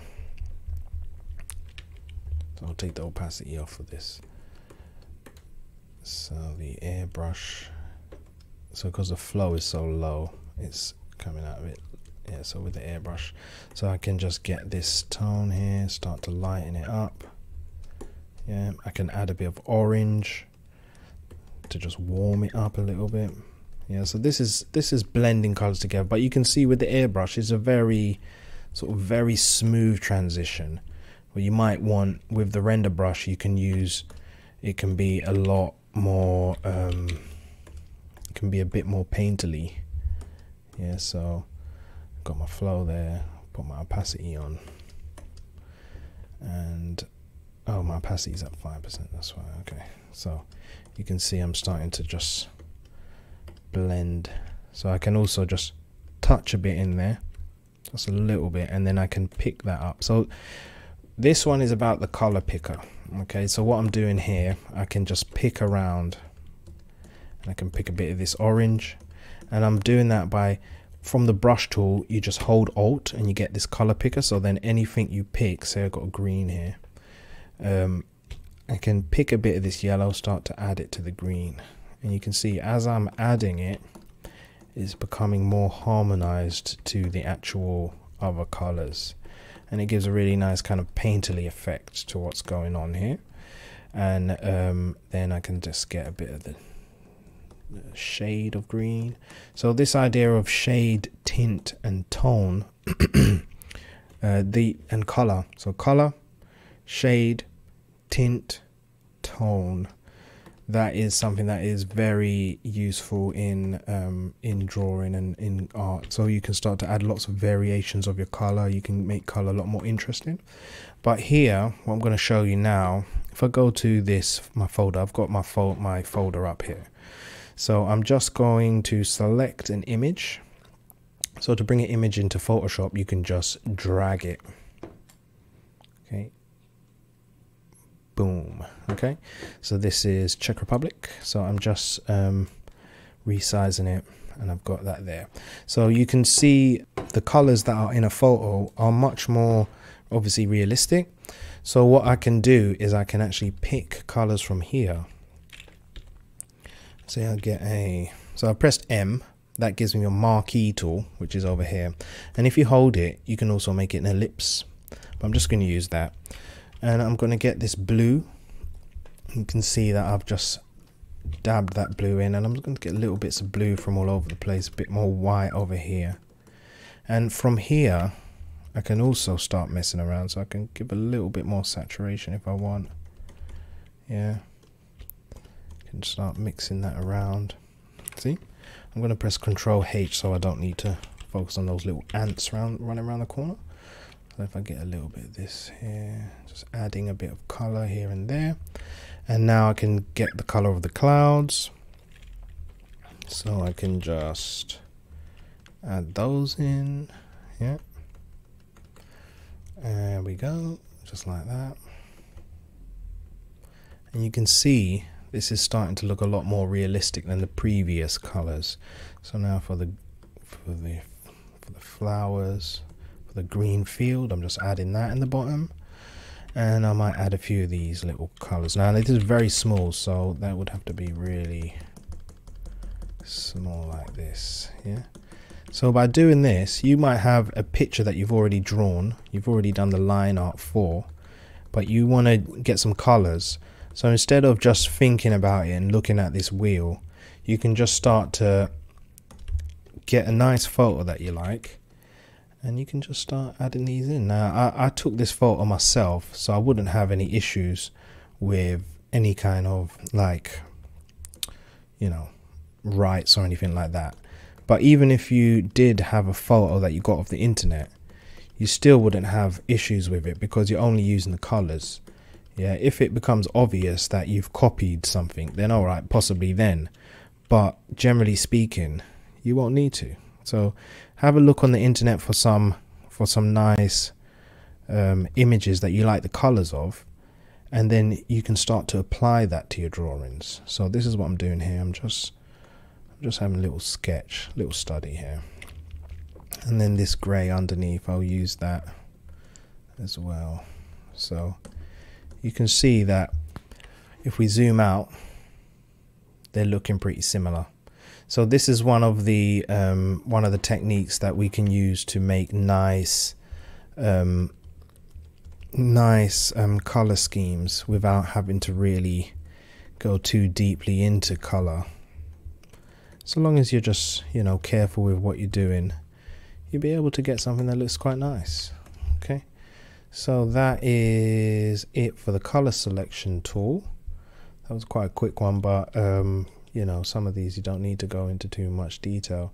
It's just important that you understand about select finding colors putting them in also playing around. So if I just get see that color that I found just there? So that's in my sky already but I can just nudge it around and start getting color variation you see? It's a bit of color variation coming in here and there. And that's really going to add to my picture yeah. So you can see that I can get a little bit more I can go a bit wild with it. Make it really small and just add these little areas here like that. You see? And um, so that's what I want you to also have a go at. So now I can get rid of this I can get that I can put that over here. And I can use those colors. So let's actually just mute uh, sorry mute uh, hide that get another one make another selection. And now what I'm going to do using the same colors I'm going to have a go at messing around with different a different sort of a different design. Yeah so I've got my white there. I'll get my blue nice bright blue add a bit of color variation. Here we go and you see I'm picking up from here as well and I'm able to if I get something say I put that blue in it's like oh man that's way too much. So I'll just hide that move it over a bit. Say that's way too much I can pick this up and start to gray it out. You see and that's that color variation still makes sense. So I'm gonna get my cloud shape and maybe this time instead of going that way I might want my clouds to come some reason coming like this. So there we go like that and I'll get my green. And this time I might have my green just coming like this. And I might have some hills going on here. Yeah, some hills in the background. So I'm just lightly pressing this so the green is just about coming out. But you can see it's starting to look like it's in the background. And I'll just add a bit more I'm just going to grey that out a bit. Here we go. And I'll just put a couple big hills over there yeah. And uh, for the yellow I will just get a few little flowers going bada bada bada bada bada. Put those in. There we go. And you can see now I've got a different design. And it's you know it's it's cool. You can just start messing around. I've still got my selection by the way so I don't so while, when I'm drawing on the edges it doesn't necessarily um, it doesn't go outside my edges. So if I press Control H it's still there.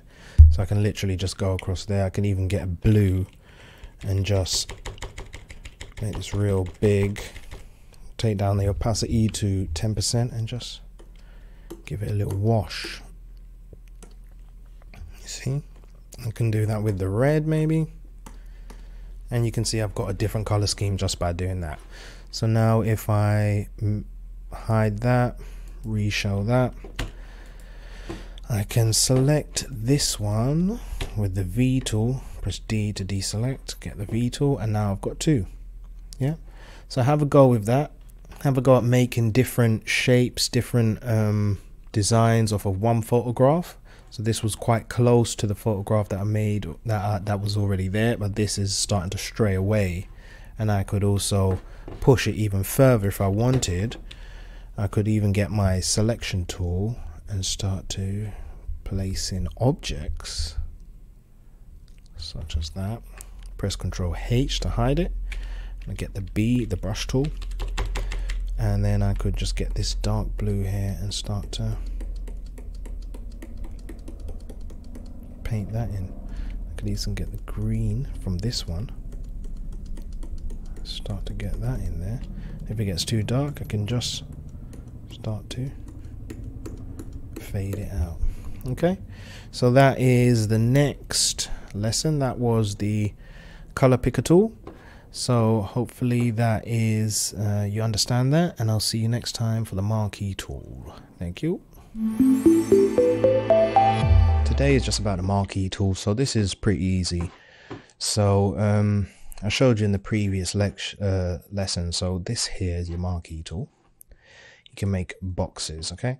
So this is good um, because when you want to say I don't know you might want to start designing an area background or something like that go to my brush tool make a new layer and you can see let's get black there we go so I can start to paint within that shape. So if I press control H it's right there.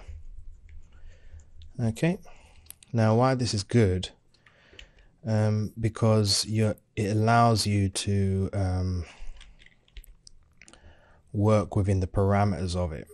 Okay, so I might want to maybe make like a mountain shape maybe here.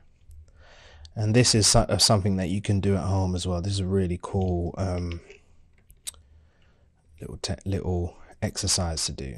Yeah so you can just now start see what I'm doing here? I'm starting to lay in some some big shapes. So then what I can do here I can start putting in shapes here like that. I can start carving shapes out.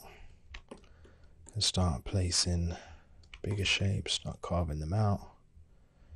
Yeah. And you can see I can start drawing like that. Now um, that is one thing as well that the the marquee tool is good for. But also for example say I want to so you see that. Now if I want to select a shape in here you can see that I've got that selected still. So if I want to select another shape to maybe make some mountains and I press control D. So now it's deselected. So if I'm like this that's all good. I can make some sort of shape like this. Control H get some color in there and start blocking this in all right. But then now that whole shape is deselected now. Now I can actually reselect it by just um, using the magic wand tool but then you can see that it doesn't get the whole thing and then I'd have to start clicking these different areas like that so what you can do with the uh, marquee tool which is really cool actually okay so if I press G I'll get my paint bucket tool. Now this might be set to your gradient tool, but for now we're just using the paint bucket tool. And I just select that and I'll just press D to get black and I'll just do the whole thing in black. Uh, alternatively, I could have, if I wanted to, get my brush and just do put it all in there like that. So you don't need to use a paint bucket tool. Um, so now from here, what I can do, get the marquee tool and start selecting these shapes here. Yeah, just going to move this out of the way. Um, and I can just, all right, so I'll just show you quickly here, just a, few different ways you can do this. So I can do that. I can do a bigger one here. I can do a long one down here. And I can do one like this maybe. And one like that there. Now, if I'm on that same layer, let me just get rid of the color for a second. So here we go. That's the layer. Now just press delete. And now I've got a, a series of frames. So I make a, a window underneath. And now what I can do is really nicely work within those frames, just like that. And it, it's it's it's basically like having a selection all the time because you don't really see what's so now I just put in some, I don't know, some shapes like this. Here we go. And Control H. Get some white. Now here I might want to switch actually to my soft brush. Okay, and I haven't got anything selected except for that. So I might leave that one just for now so I can slowly start to pull out these shapes here and then I can start selecting so this is all based on stuff we've already done but just adding the marquee to it allows you to make these nice frames so I'll put in a white hill there which I probably don't, don't want to do, put more of a dark hill just like that yeah and I can place a figure here we go. I'm gonna place that guy just there. Add the head, add the hands, and he's like, yo, what's going on over here? Okay, and then I'll just select that gray and I can just add it. So by doing this, you can really, you know, start playing around. And um, this is all obviously the marquee tool is how we get our frames. There is another way we could do this however so if i move that now you can you know our frame, frames are gone. So uh, what i could do is fill up this whole page with little sketches like this little ideas. And then after i could take one of these ideas. So for example i would just you know select that uh, i'll just merge it down then i would just get my marquee tool again Control V, uh, sorry, Control C, Control V. Now I've just got that one on its own, so I'll get rid of this layer. And I can use this now to start my my drawing with. So I'll get my um, hard round brush uh, pressure sensitivity as well as shape dynamics and then I can start to sketch out this idea yeah into in more detail. And this is what um, this is a real and you know this this is um, a combination of all the tools we've done so far. But at the same time by using the marquee tool you can start to make these frames as well. So that is another thing that it the marquee tool is really good for I'm going to show you one more thing. So the way that we made those frames with the marquee tool, that was a quick sketch there. Okay, cool, whatever. So the way that we made that frame like that, we did it in, in that way, but they were all different sizes. So what I could do next is I could just make, say I want them all to be the same size. I'll make one marquee tool there. And now I'll get my brush and just fill that in. I need a new layer. Just fill that in like this. Okay. Then I'll deselect, press V and hold alt. And now if I now if I, I can move it around like this. If I hold shift it will keep it in line okay? So if I hold shift and I drag it down it will keep it in line okay? So what I'm gonna do here I'm just gonna drag it over here holding shift. And um, now I'll press control E to make these into one layer. And again I'll go down like that Again, press Control E to make that one layer. Now I can press the trans. I can transform these, make them a bit smaller so that I can get another row in. And maybe I'll make it a bit smaller so I can get like two rows going down as well. So then I can basically do that. Control E. And then what I'm going to do, I'm going to, my last, I'm going to get marquee tool, select all of those press V, Control V, and what Photoshop's okay. So I'm gonna go like that. Now I'll press Control D. Now I've got six frames, and just to make them go to the edge of the page, I will just so. I think I said this before, but if I just drag these out, it will keep the dimensions. Yeah, but if I hold Shift, then I can actually just stretch these to fit my page. Okay, uh, so what I'll do, I don't want them too tall, so I'll just do that and I'll put them right there. Bang. Okay, so now with that being done, what I can do is make a new layer, fill it in black, bang. And if I basically control click the layer, it will give me the selection of whatever is on that layer. So now I will just hide those go back to my um, black layer and press delete. And there you go all the same size. Okay so now what I would suggest you guys do is have a little bit of fun. Get your render brush out get your line brush out get your uh, your selections going and have a go at designing some maybe landscapes or some um, you know so for example I could have just a little I don't know what I'm doing here. Just doing some random shapes. So by doing these random shapes, you can sort of say, oh, well, that could be a mountain, or that could be this or that, or the other. Yeah. So here we go. And another one here, maybe this will be, I don't know, this can just be some sort of landmass here and then I can have like some sort of shape here. We're, we're also going to talk a lot about shapes in, in the future episodes, but this is just to mess around. So you could do stuff like this, fill out the whole page, okay, and then you can start adding, you know, layers of, of texture, layers of tone. I can also come back in here and so this is quite a nice technique. It's called the Notan technique, where you just use black and white to get your basic shapes okay? So I might just do that.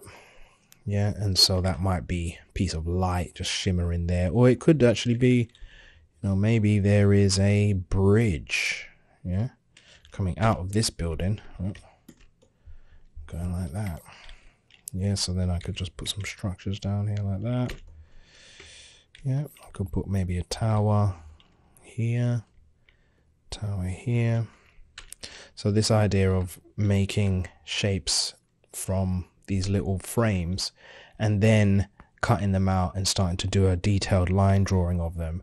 Yeah you could you could mess around with that but this is all based on making frames from the marquee tool. Now one last thing i'm going to just show you quickly with the marquee tool is ellipses. So all right so i've got my ellipse selected so i'm just going to go back to my brush and i'm going to just go over here make a new layer deselect and now i'm there okay so you might want to, for example, if I got my lasso tool, I'll make a shape like this. All right, boom. All right. Maybe I want this to be a car. Okay. So I can easily use my marquee tool to make a wheel. Now you can see it's, it can be any type of ellipse, but if I hold shift, then it will be a perfect circle. And I'm just, just for um, the purpose of showing, I'll make this gray. And what I'm going to do, I'm just going to control and drag that over maybe here. Quite, no, not there. Maybe over here. Let's just put it there. Whatever. So you can see that I can easily make wheels like that. Also, what I could do is this is a bit more bit more fiddly. Well, I'll deselect. So I could do this fill that in. I want to fill that in black. So now I can copy this over here. Okay.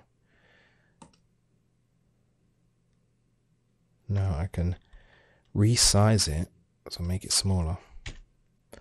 Now I can move it back over here. And I can recolor it. So let's just so you can see where it is, it's not exactly straight. So just using the arrow tools, I'm just readjusting it. And now I can color that in a different color, which should be here. Yeah. So you can see that. And now I can start using the lasso tool to start making some rims. Okay. Um, when we go more into design of these sort of objects, I will show you some better ways to do this, but I'm just doing this by hand right now. So here we go. That is my poorly drawn rim, and I can just, there we go. Yeah. So then I can also use the marquee tool to put in, this is really rough. I'm just going to put in the circle there, color that in, and now you can start to see I can add lots of different circles like that. Put that in there. And now it's starting to look more like a wheel. So the other thing you could do is basically if usually say a car is at the side angle so you can see sort of like I'll just quickly rough this in there we go so I believe I have a selection so I'll press control D and now I can draw. So if my side, if I've got the car and it's sort of like this, right? So I'll just take that bit, make that slightly curved and I'll just do that. Okay, so then the rest of my car comes over here like that. So you can see that this is a, a straight view of the car wheel. So what I could do, I'll just select this, Control X. Wait a minute. It's on its own layer anyway. Yes. Okay, so I will just deselect, press V. Now I'll drag it in place and I can I can press Control T to make the transform and then I can do Control T and I can drag it into perspective. Okay, just like that. So that is another really useful way that we can use the marquee tool. Um, so mostly people would use the marquee tool for, you know, just making boxes. But this ellipse, um, this ellipse function is very useful. Okay. Just like that. There we have it. A little car wheel. Yeah. I'll put a little logo in there. This would be my little eye for Aishan logo. There we go. And I'll just put a few little little shimmers, little highlights. And there you have it. You can start to, you know, make different objects with the marquee tool and the selection tool. And the last thing I'm going to show you in this lesson is the polygonal lasso tool. Now this is highly useful. Okay, here you start. So you can see what I did there. I just went to this where my lasso tool is. You can press L and this is your soft or your smooth lasso tool. But here we have a polygonal lasso tool and this is really useful when making things like weapons, spaceships, crafts. Yeah, there we go and I can really get these hard shapes in. And the same rules apply that you can hold shift to add new shapes. You can hold alt to delete shapes. And there you go. I've got a hard shape there. And you can also, so I'll just quickly color that in. You can also mix them. So I could just get this, go back to my lasso tool, my soft lasso tool, and just start to add curved shapes as well. Yeah. So um, I find this really useful when I'm making um, things such as cars or spaceships and stuff. And you can just really just take your time with the shapes. Whereas with the soft lasso tool, it's a lot harder because you have to make sure you get your shape right. So here we go. I'm just adding different bits in. So I might get my soft round. There we go. I can start adding in texture. Okay, so that's it for that lesson. Hope you uh, enjoyed it, learned something. So have a go. You can start making shapes like these. You can start, you know, um, drawing cars and adding wheels on them. You can also start making frames and then making little landscape pictures like this. Yeah, so um, have a go and um, have a go all these different things. Try and make a couple pages of each thing that I'm showing you. Yeah. So that way the tool gets really embedded into your mind. So, okay. I'll see you next time. See you later. Still running over the basics. So we got two more lessons left on the basics, um, basic tools. So this one is about the symmetry tool. So if I select that, you've got a lot of the, uh, we did this slightly before, but you've got a lot of different, um, things you can do here with these. So I'm just going to run for a few of them. So the vertical is probably the most useful. Uh, so I can just uh, make a new layer get my brush. I must have a selection. So here we go. We can start drawing in symmetry. So I'm just going to get a hard line brush. Go obviously make it smaller. Yep and you can see now this is really useful for designing patterns for example some certain things and ornamental things that you might have on buildings. So you could sort of make a whole sheet of um, you know just little kind of emblems that you could then skew into place using the skew skew tool.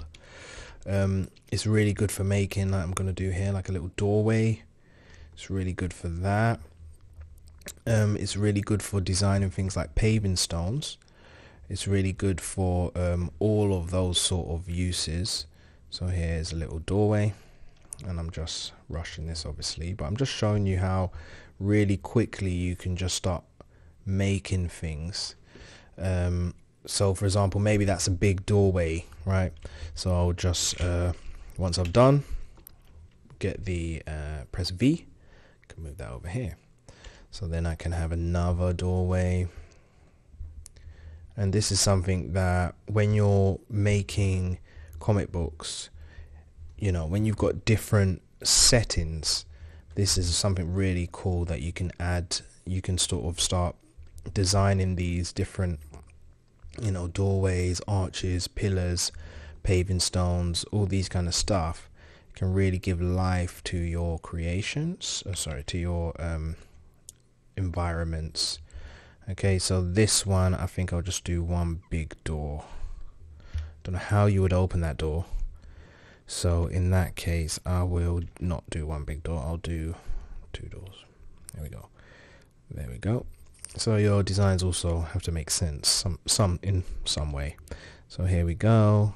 got another one, and there we go. Okay, so that's another one. And you can see I just did that in literally how long does that you know? So I can press control T can shrink them put them up here can make another one. So let's try a more wider one. So when we go into shape design and stuff like that we'll talk about how to variate things and one of the ways to do it is to make them wider.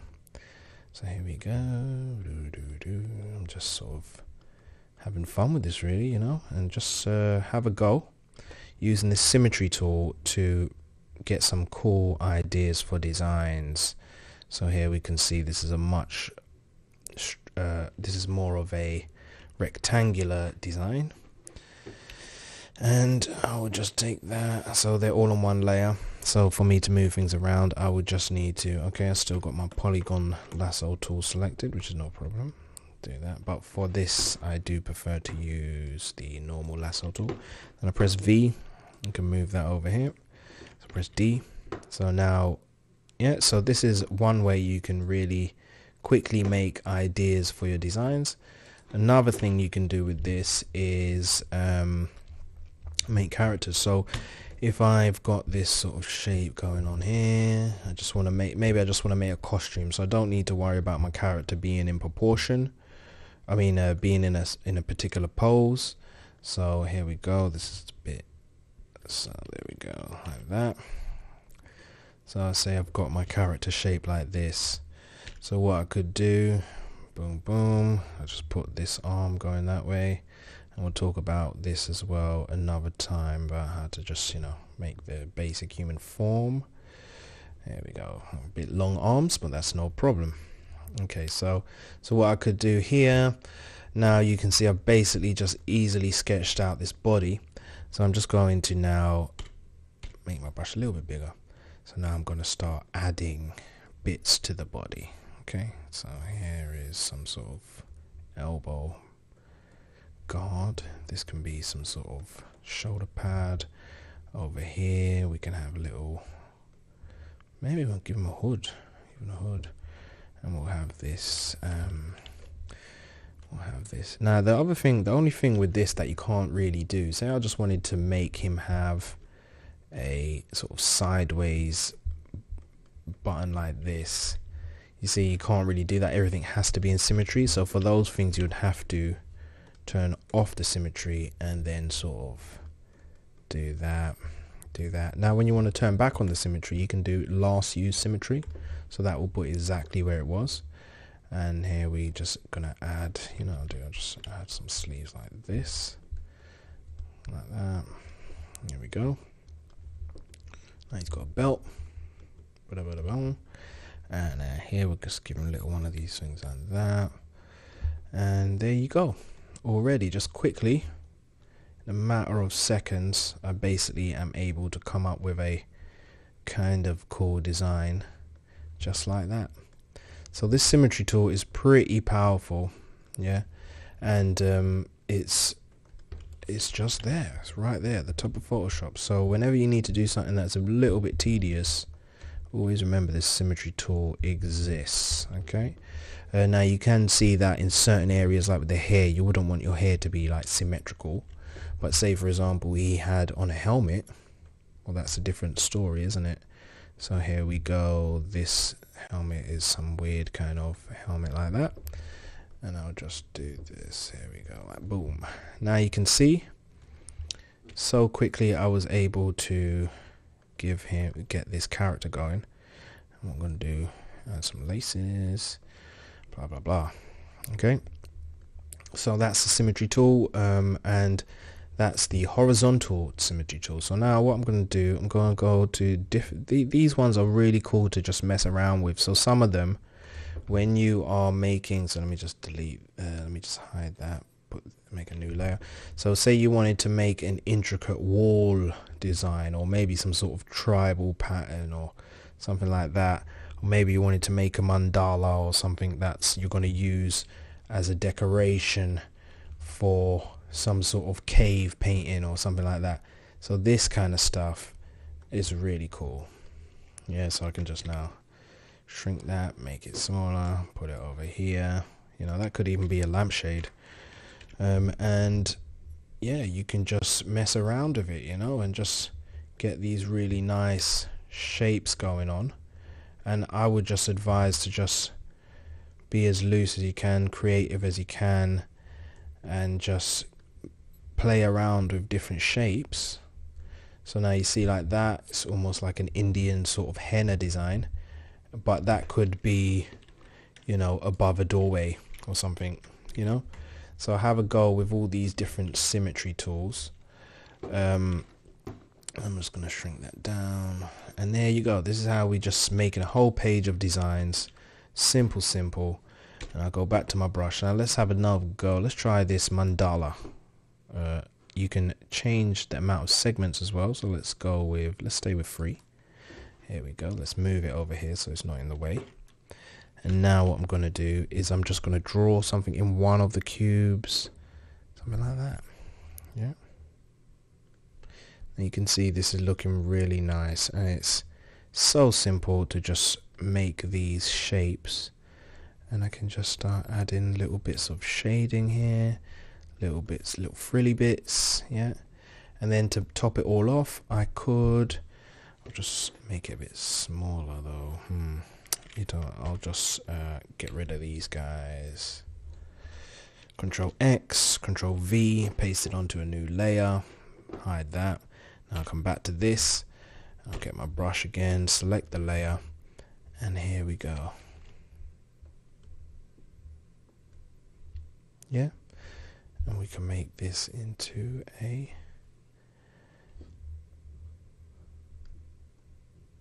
little emblem.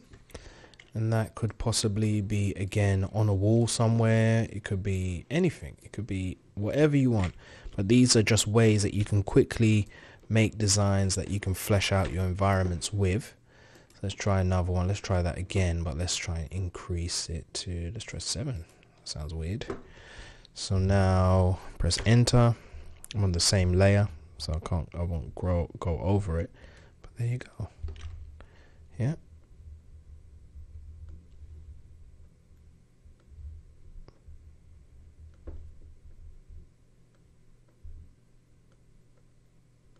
It's almost easier doing it with more actual um, doing it with more segments because you don't have to draw so much.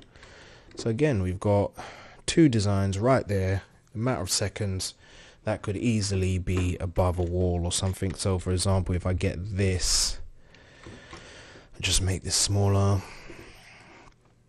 Put that here and then I'll deselect and I'll get my previous drawings of my doorways yeah. So you can see how these could easily be. In fact let's just make this even more fun. So I'll just go back to my symmetry tool. I use vertical. I'll align it right in the center there. I'll press enter. And I'm actually I believe on the same layer.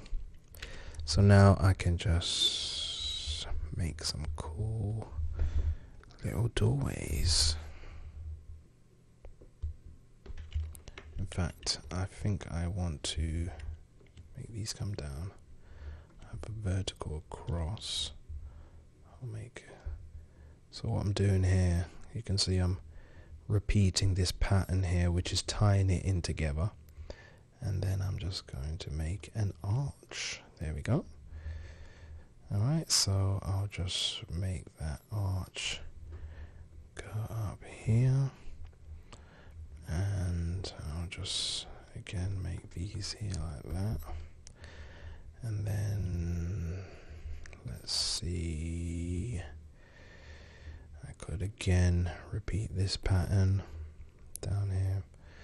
And you know as you can see it's so easy to just put this all together and you know end up with a bit of a cool looking doorway yeah so then that could go like this and then that could go like that and bada boom bada bing we've got a cool looking doorway. Um, what I'll just just to finish this off, I will just do that. Yep. So this could possibly be the entrance to like a great chamber or something. And we just did that in a matter of seconds. Okay, so let's get this off off. Now with this shape here, if I get my circular marquee tool, select that there and press V hold alt I can drag it down here control T to transform and I can sort of put one here. Put one up. And then I'll just again hmm, hold alt.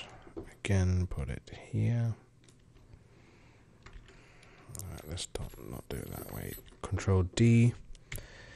Get the marquee tool. V, hold shift so it's in line. And there you go. You can just keep, literally, you can just keep adding to this, adding to this as you want. And it's such an easy way to make really cool designs. So have a go. Make a few pages of uh, these floral shapes, different kind of shapes, different um, textures. You can use different um, types of doorways. You can make props, make anything you want. You can even do characters like this guy here. So I could have just moved him over over here like that and do another one. Yeah, so um, yeah, hope you enjoyed that. That is a symmetry tool. I'll speak to you next time. See you later. Not many people again use this tool. Um, I don't know why. Um, it's very useful.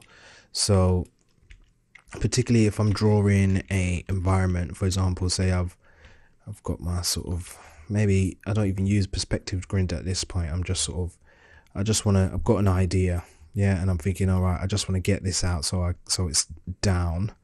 So maybe I'm just drawing some sort of building here, and it comes down like this. Uh, maybe, yeah. Um. So I would just, you know, so you just sort of a lot of the time what you do is you just roughly put in the perspective like this, and you're sort of drawing freely with a perspective that is not perfect yeah and then i might have um yeah i might have like a like maybe a ledge there and i'll have some more buildings and they will go down like this. Then i have another one up here that will come like this. So this is one thing you do want to avoid this sort of aligning of these verticals. You want them to be slightly off. So here we go. Alright, so what I can do with the line tool, so I'm sort of putting in these slabs here like that. So if I just hide that, so imagine that's my first draft, yeah? So the line tool is down here. You also, if you hold it, you can get other tools. You got the custom shape tool as well, which I'm not going to show, but that's a very cool tool as well. So if I got the line tool, up here, it can either be a shape, a path, or pixels. So just select pixels. And now I can actually start so I've put in a line because um, it's on another layer you can't really see it so well. But what I'm going to do is I'm just going to make a straight line there. And with this one I will drag it down. So I might want to say maybe that's too much so I might want to put it there. So then with this one I'll again put it there. So you can see how off my perspective was when I just drew it by hand. So this is really cool for just getting in a perspective grid that you need to just line up all your shapes. So here you go. I'm just I'm just doing that. And what that allows me to do then is I'll make that again lighter. Now on my cleanup, I can go in here. Now you can see that was way off. Yeah.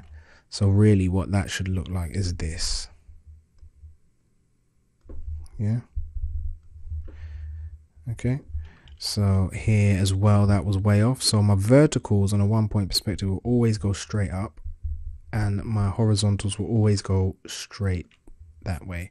But the the lines that go into that show depth they will always recede to a point. So here we go. Yeah. You can see it's already looking a lot straighter and a lot more. Yeah a lot nicer. So that will go directly sideways.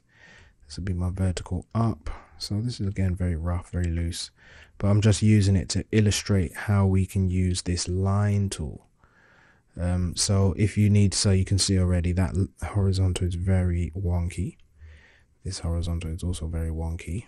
So I'll just connect these shapes just connect these shapes here and you can see that that is very much slanted yeah? So I would need to really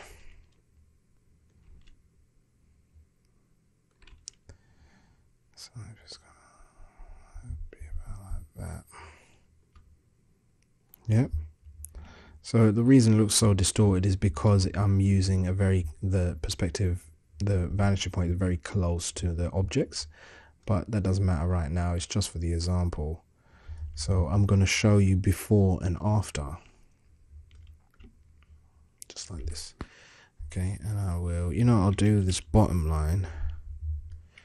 I will make that recede on this line.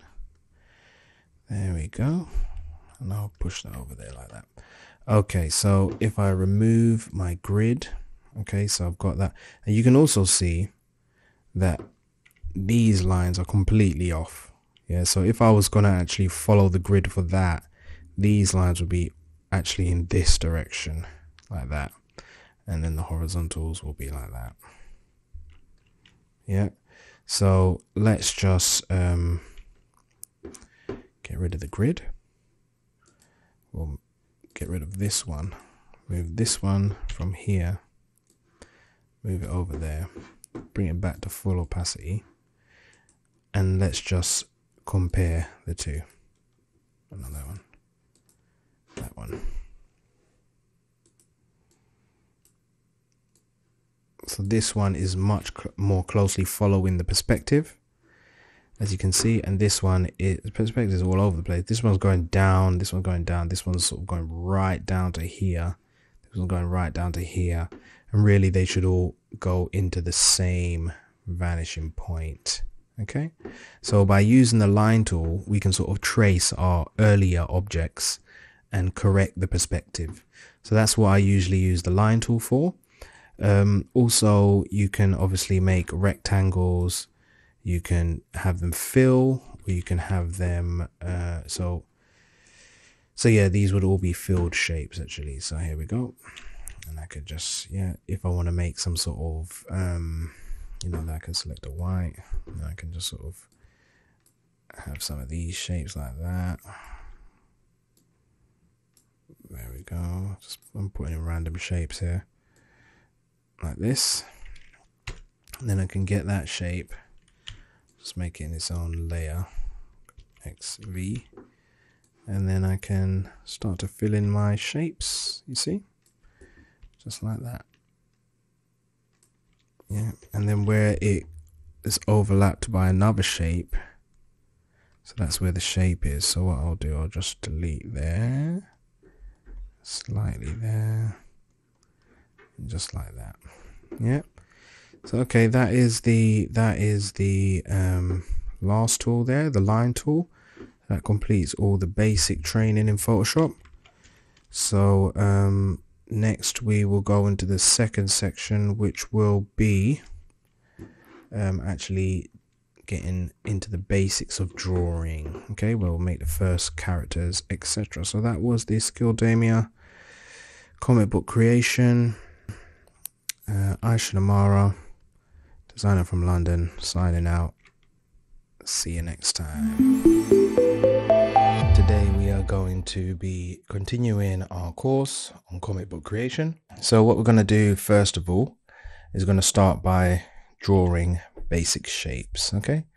So I will just get to my brushes here. I'll pick a hard round and I'll put the opacity and size um, size variation on here we go. I've got blue at the moment, so I'll just keep this black here. So um, first thing you want to just do is just um, remember what we spoke about with the with the different types of drawing. Okay, so we've got the drawing from the wrist, drawing from the elbow, and drawing from the shoulder. Okay, so when we're drawing our shapes, that's what we need to take in consideration. So if I'm drawing a small shape just like this, then I can just, there's no need to sort of, I can just draw it like that.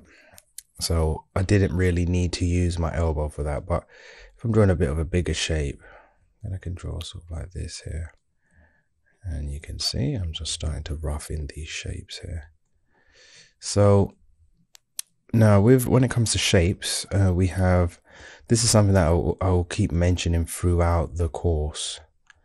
You've got the triangle shape, you've got the circle shape, you've got the square shape. Okay, so everything in reality is made out of these three shapes or combination of those shapes. So what we're going to start doing today is we are going to start drawing these shapes, drawing them neatly and combining the shapes. Okay, so this will help you with your drawing technique. So for example, I might start with a triangle here go.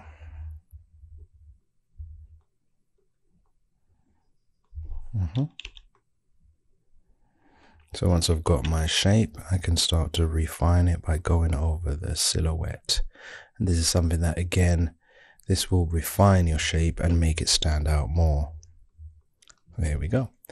Um, so now I can start drawing different types of triangles. Yeah. Such as this. So I can start with a basic outline and then I can just sort of, so here we go, just gonna draw through those. There we go. I'm going over it. So that's that. So using the eraser to just um, remove what I don't want. And then again just going over the silhouette. Okay. So you can also um, start to combine these shapes. So for instance uh, let's say few triangles there now so I can now start to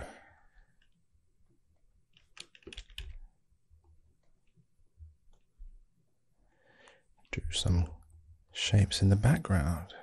Yeah. So then I can also draw through that and there it would be there. That's where the end would be. Okay.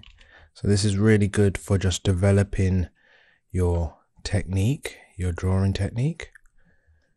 So feel free just to fill up a whole page of triangles, a whole page of squares, rectangles, and a whole page of circles. I'm just having this one poke out from behind there. Maybe I will run this that way. Mm-hmm. And then uh, let's have a big triangle here like this.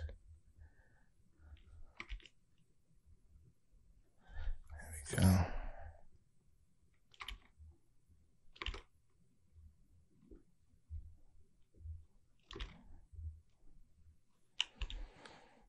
Okay.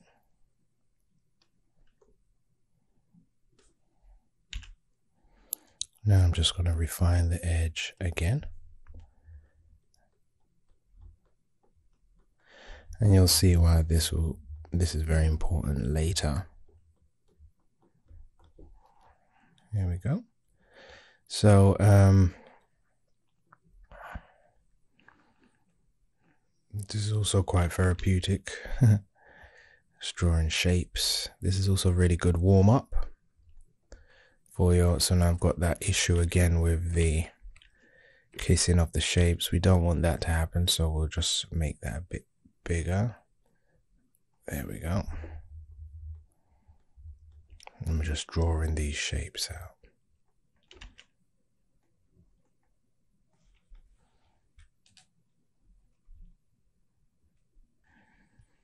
Okay.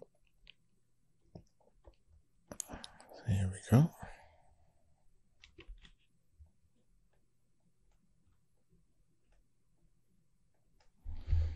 Okay, so what I'm doing is I'm connecting all of these different shapes together and that is giving me a triangular composition. So with this one I want it to come in front of that one.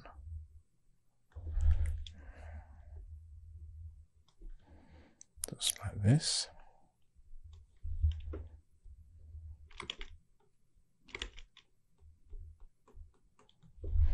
And you can see that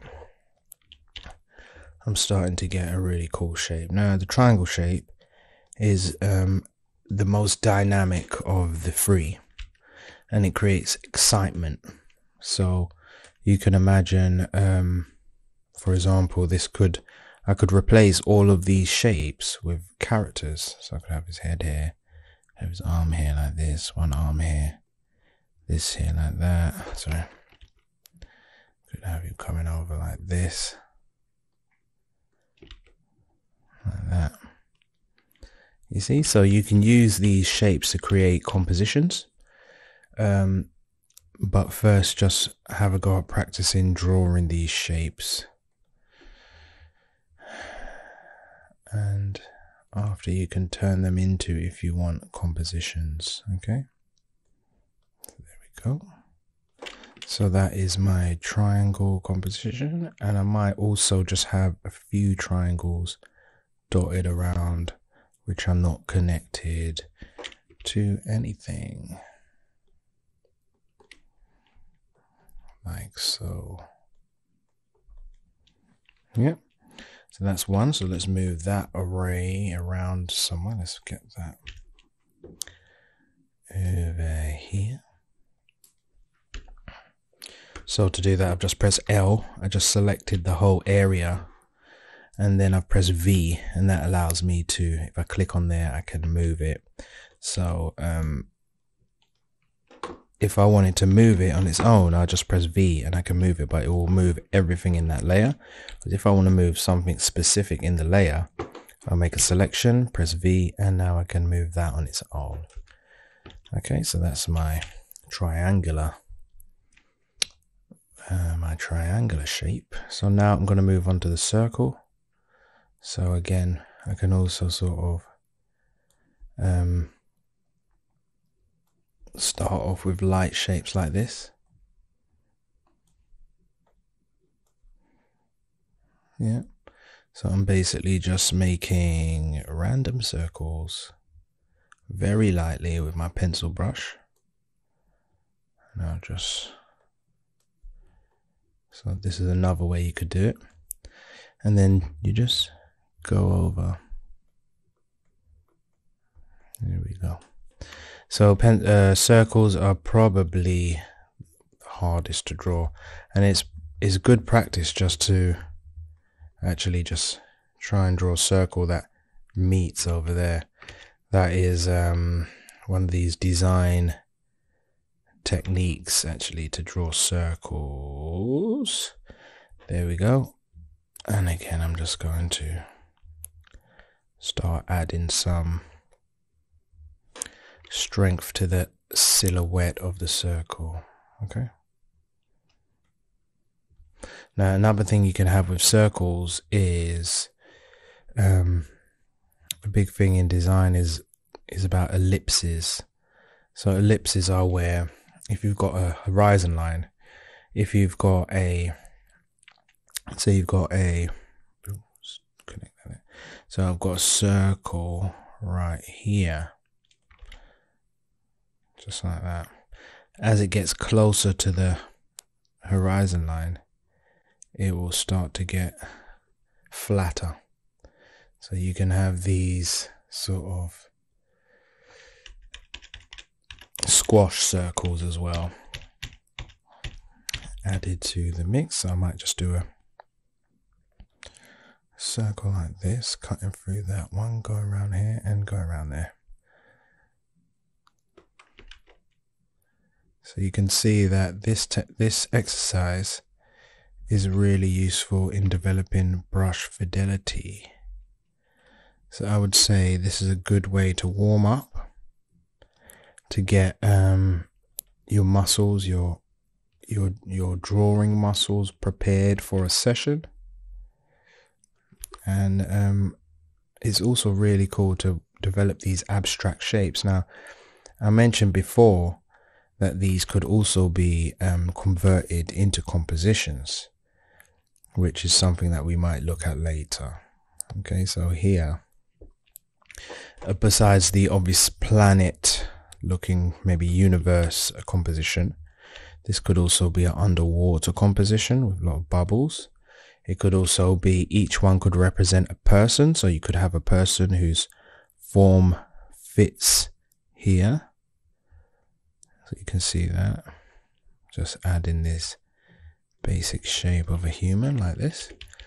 And you could you could also have um, so you could, these could also be replaced by different elements. So um, I would advise just be creative with this. Um, have fun, which is the most important thing. So here I go. I'm just starting to add a bit more definition here, and I can go around all of them. It's also good for creating these sort of um, modern art style um, pictures, you know, so I could have this in a frame. And let's just make another ellipse around here like that. We'll carry on about, about there. Something like that. So I can carry on adding strength to the lines, as you can see. And this is a real cool way of making, as I said before, really free compositions. You could also have maybe like some sort of monster with like tentacles, and so this could be his eyes. Then you could have like all kind of weird tentacles going in these directions. Um, but you know, it's really like looking at clouds, you know, finding pictures within pictures. So I will call that done for my circular composition. I might just move this guy over a bit somewhere else. Think maybe maybe over there. Just so I've got more space. So now I'm going to select all of that. Cut that out. I'm just going to move it over here. I'm going to select everything. Just going to reduce the size a little bit. There we go. And there we go. I've got a triangular composition and I've got a circular composition. Uh, also, the circle is so I'll, I'll cover basically uh, these can also be things like this.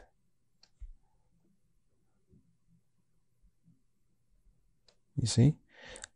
Uh, triangular lines or circular lines. Yeah, so I could have something like this going on. And I could just, yeah, I could have things like that coming out of here, swinging round here. And that's so we've got circles, circ and circular lines, you see? And that is also part of this shape design. So now I'm just going to add that. Could make this like that. This like that. Yeah. So uh, now I'll just quickly go into my square designs. So here we go. Boom. Square designs are really cool when you're designing things like um, technology things, right? So technological devices or sci-fi, sci-fi uh, robots and stuff like that. And here we go. So I've got a little square composition here. And then I'll spend time just, I'll do, I'll zoom in a bit. I could just do a bit neater. So here, this is a different way I'm doing it. I'm actually just going to go through all my verticals first. As you can see.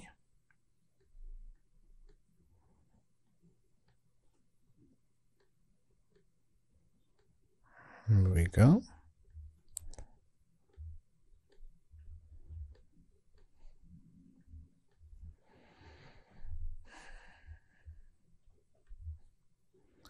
So it is a time consuming thing, but it's also good to um, develop your technique.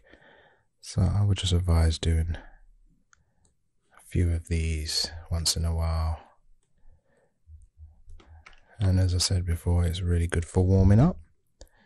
There we go. I'm just sort of being a bit quicker with this one. I want to move on to something a bit more interesting. There we go. Most of the verticals are done. Now let's, I've got these two here. And you can see that I'm just building up the strength in the line. And here we go. Now I'm doing all my verticals. Just like that. See, I could be doing this all with the shift. I could just shift, but I feel that that sort of takes a lot of life out of the composition. So I'm just going to quickly finish this one off. So you could imagine maybe this is a building scape.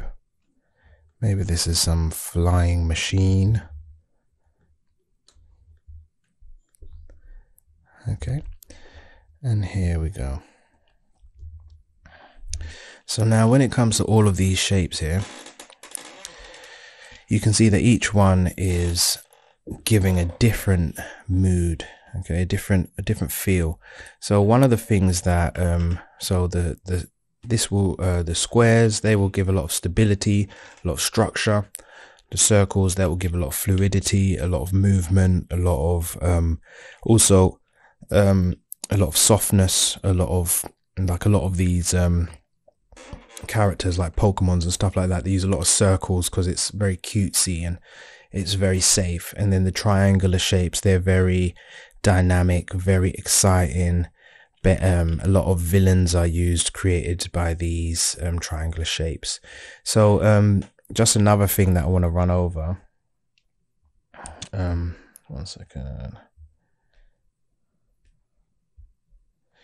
Yeah, so just another thing that I wanted to run over is that um, when we're doing characters and shapes like this, so now if I was to just, I'm going to make my brush a bit smaller, just go around the silhouette of the whole shape. Okay, so I'm taking a lot of time here.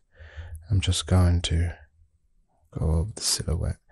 And sometimes you, where things sort of overlap, you can do a bit, bit of a silhouette there as well. So yeah, you see that? Now I'm showing this for a reason as well. So when we will eventually move on to characters, this will be a very important part of the design process because we need to make sure that the character can, the silhouette is compelling and strong. So by going over the silhouette, we're able to see the whole shape in a very might just move my flow up a bit just so I get a stronger line. So here we go.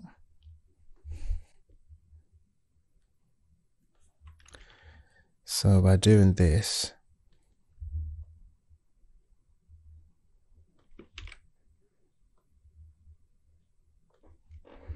our shapes become the whole shape, the shape as a whole will read more. It will be stronger. So this is one of the um, things that we will do with our characters. Here we go.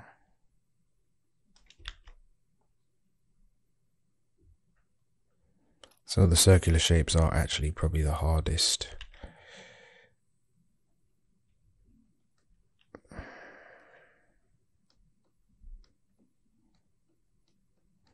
sort of this a bit.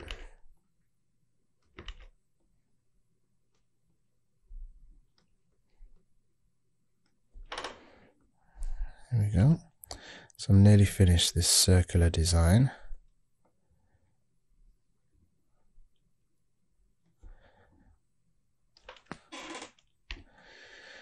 So now you can see that this shape is popping off the page more than the other shapes. And that's because I've accentuated the silhouette. And we're going to do that. Maybe not. Yeah, we'll do that on all of them. So again, so this time I'll make a new layer so I can show you before and after. So here we go. The other thing that when you support the silhouette like this, a good thing that it does is it it gives you a contrast between the detail within the shape and the um, the actual silhouette, which gives a really nice effect. So I'm just going around the whole shape of the triangle one, and that won't be as long. It's just straight lines. Here we go. So I say have a go at this, and if you want, you can start to color them in as well, which I might, I might not do actually. Uh, so here we go. So this is a really important exercise that you can do to develop your drawing skills and your composition skills. Okay, and just there, there, there, and there. So now if we just zoom out a little bit, you can see that I can now just, I'm just going to take a bit of this line off. There we go. So here, if I do before and after, before, after, before, after. Yeah, so that's one of the things that we need to make sure that we do when we're designing our characters, which we will soon get onto. So this one I'm just going to quickly do because there is another part that I want to show you.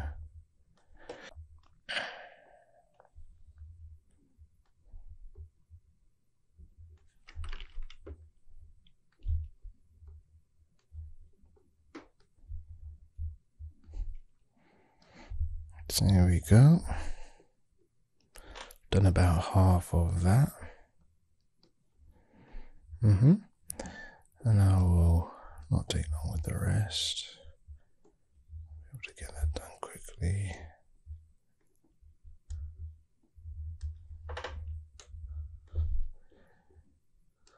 Uh,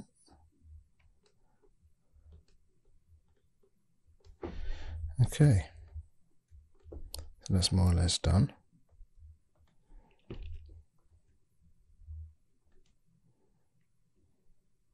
Okay, so that's our first. Uh, oh, no, missed that bit there. Oh. Hmm. oh. I've got a white selected for some reason. Okay, there we go. Ish. Okay, let's just call that done. So here you go. These are um, ways in which we can use shapes. Okay. Um, so the next thing I want to show you is about combining shapes. So let's just get rid of all of that. So you can see here what the silhouette does. So it gives it this the overall shape a strength. Okay, so let's get rid of that. And uh, just quickly to show you, um, this is the actual silhouette of the shape. Okay, same here. So um, that is very important when we're designing characters. We want to make that have a really nice silhouette, and we'll talk about that more later. So here we go. I might say I want to do a triangle here, a square here, and in fact, let's just go back a bit. So let's start with a circle here and a so you can see that I'm using two shapes in this one shape. So I've got the circle and I've got the square okay? So in this one again this is the triangle but it's not a straight triangle, it's curved lines here. So I'm using the circle, the curved lines and the triangle. And here I can do this here like that. And then I can obviously add some triangular shapes. I go over the silhouette. Yeah. So this is another thing that you can do to um, practice drawing nice looking shapes. So uh, when when uh, you learn about shapes, the important thing is to have an active side and a non-active side. So, for example, I could do this here, could do this here, this here. In fact, I could just do that there. And that this side here, that's my active side, that's my non-active side. So that is important when you're designing shapes. Okay. So there you can see the whole silhouette. So what we want to do, so here you'd probably say, hmm, this is probably not the best type of shape. So if I wanted a better shape, I could add some bits here like this, some bits like that. And now this is the active shape side. There we go. Mm -hmm. Um, so have a go at combining these shapes. So with this one here, this one, um, this is a triangle shape with the circular curves. Okay, so that makes it like that. Um, so here I'm starting with a square and now I'm adding these circular shapes. So this would be the active side. So let's get rid of these bits. Just using my my eraser to get rid of the bits I don't want.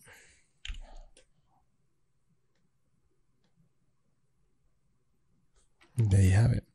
So I would say, you know, you should have a go at practicing combining shapes and coming up with really cool shapes.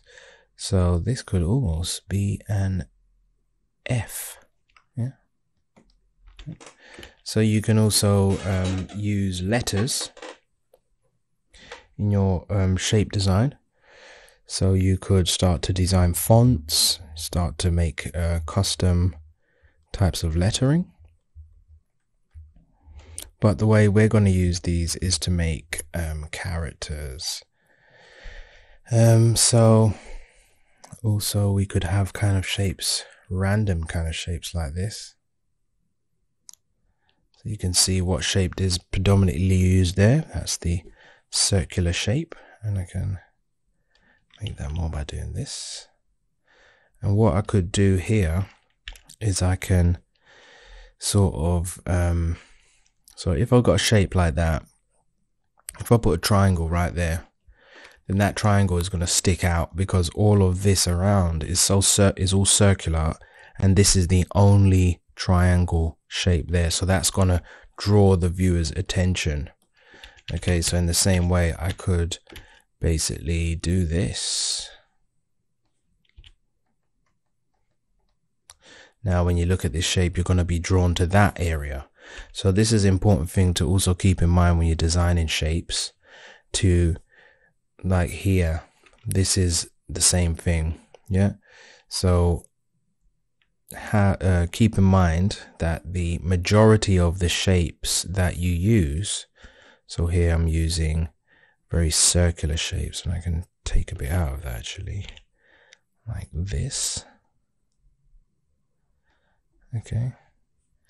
Then all of a sudden, this pointy area that becomes the focus of interest because the rest is all um, circular. So then when there becomes a very sharp point or something that is very contrasting to the rest of the shapes, that becomes the area of interest. Okay.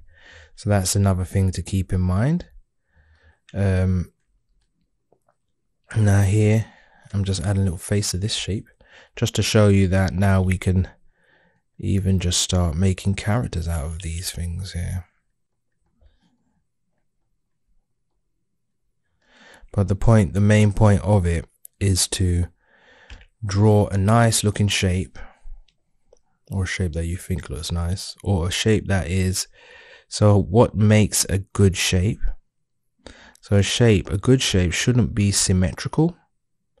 It should be um, irregular so here these two bits are quite similar so if I was to now get rid of this bit and make it a lot bigger like that that becomes more irregular and therefore it becomes more interesting so when we're making shapes, we want our shapes to look interesting. So this is how we make it happen. Also remember to keep in the focal point. So an area, so you don't always need to have a focal point um, in your shapes because um, a lot of the times what you put in the middle of the shape might be your focal point, which is not part of the actual overall shape. Yeah.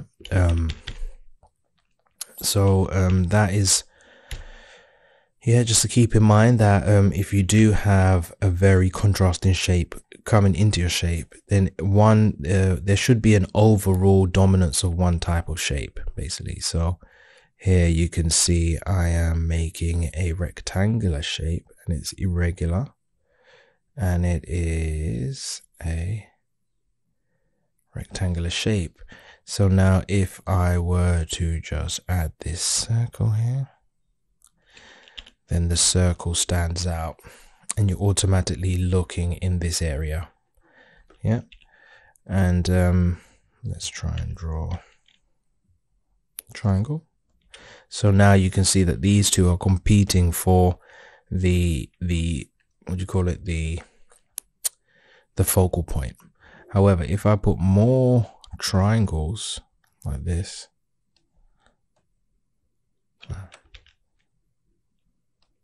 Okay. That's looking a bit rectangular. To make it more triangular.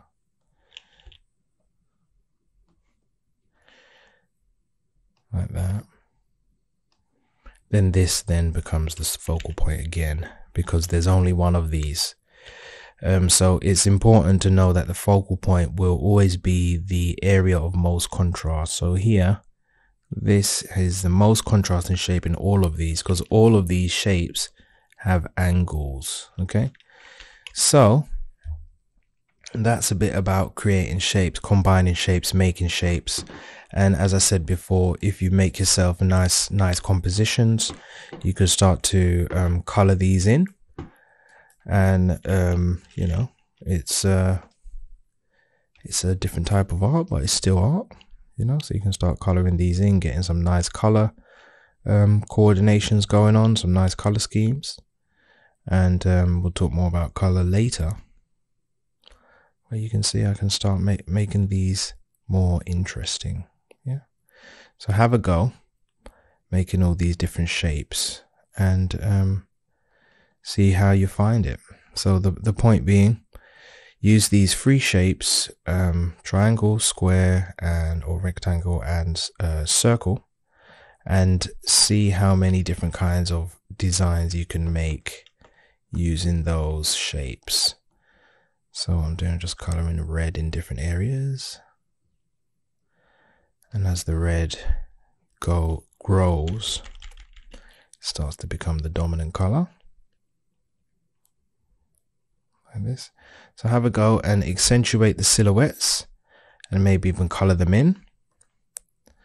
And um, that's about it really. So I will just um, finish off by maybe coloring a bit more of this in. But you can see they make really cool kind of designs in themselves. And that's what you want. So if just as a shape, it's looking good, then when you transform those shapes into characters, then it's gonna it's definitely gonna look good. So the idea is that from an abstraction of of uh, from an abstract form, if it's starting to read well and look good, then when you start to add, um, when you start to refine the shapes to into actual characters or you know props, then it will it will look it will definitely look good. So the idea is that you can start off with these abstract shapes and then turn them into something else. Yeah. So now I'm just going to get a shade of that same red I'm just going to start coloring it in here. And you can see I'm being quite rough with it. But I'm doing this for a reason because I'm showing you here. So here I've got this this principle of um, um, the accent um, applies with color as well. So here we go. I'm just coloring these bits in here and here. And now if I get a completely different color, maybe say, let's try blue. And I drop it in there.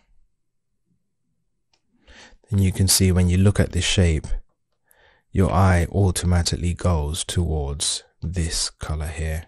And that's because all of these are reds and shades of reds, whereas this is the only blue. So in the same way that when you create a shape, if it's predominantly say a square, if you um, if you introduce a circle or a different shape and there's only one or two of them, then that will automatically take the view of the viewer. So this is a principle of design that works through all types, all areas of design. So anyway, uh, have a go at that. Draw, draw some shapes, make some funky designs, you know, so I could also just, um, if I wanted to, I could just, uh, okay. So have a go, make some funky designs. See, I could also just grab this here, um, make a layer underneath and get a nice yellow. Mm -hmm. And I could get my airbrush this time. So brush, get my airbrush. And there we go, some nice funky patterns. Yeah. Start mixing in some of this red here and there. Yeah. It's almost like abstract art. so here, what's happened here is that you can see that there are these white sections. Now what it is, instead of deleting the shape, I actually just picked up the white and drew over. So there we go.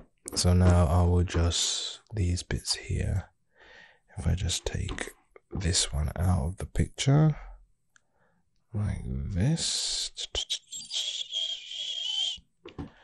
and I'll just, you know, I'll just copy it onto a new layer. So Control X, Control V. Now that's on a new layer. There you go. Yeah. So this is uh, the shape design lecture.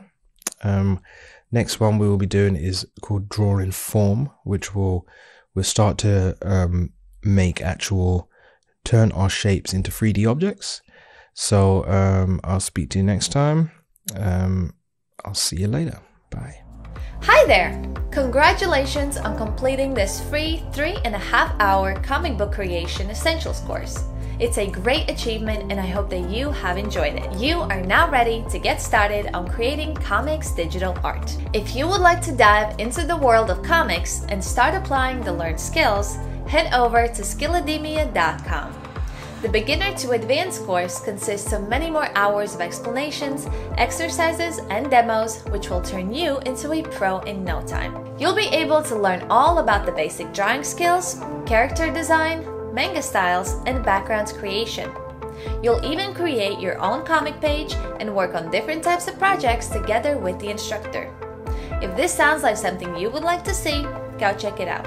Thank you for watching and see you soon.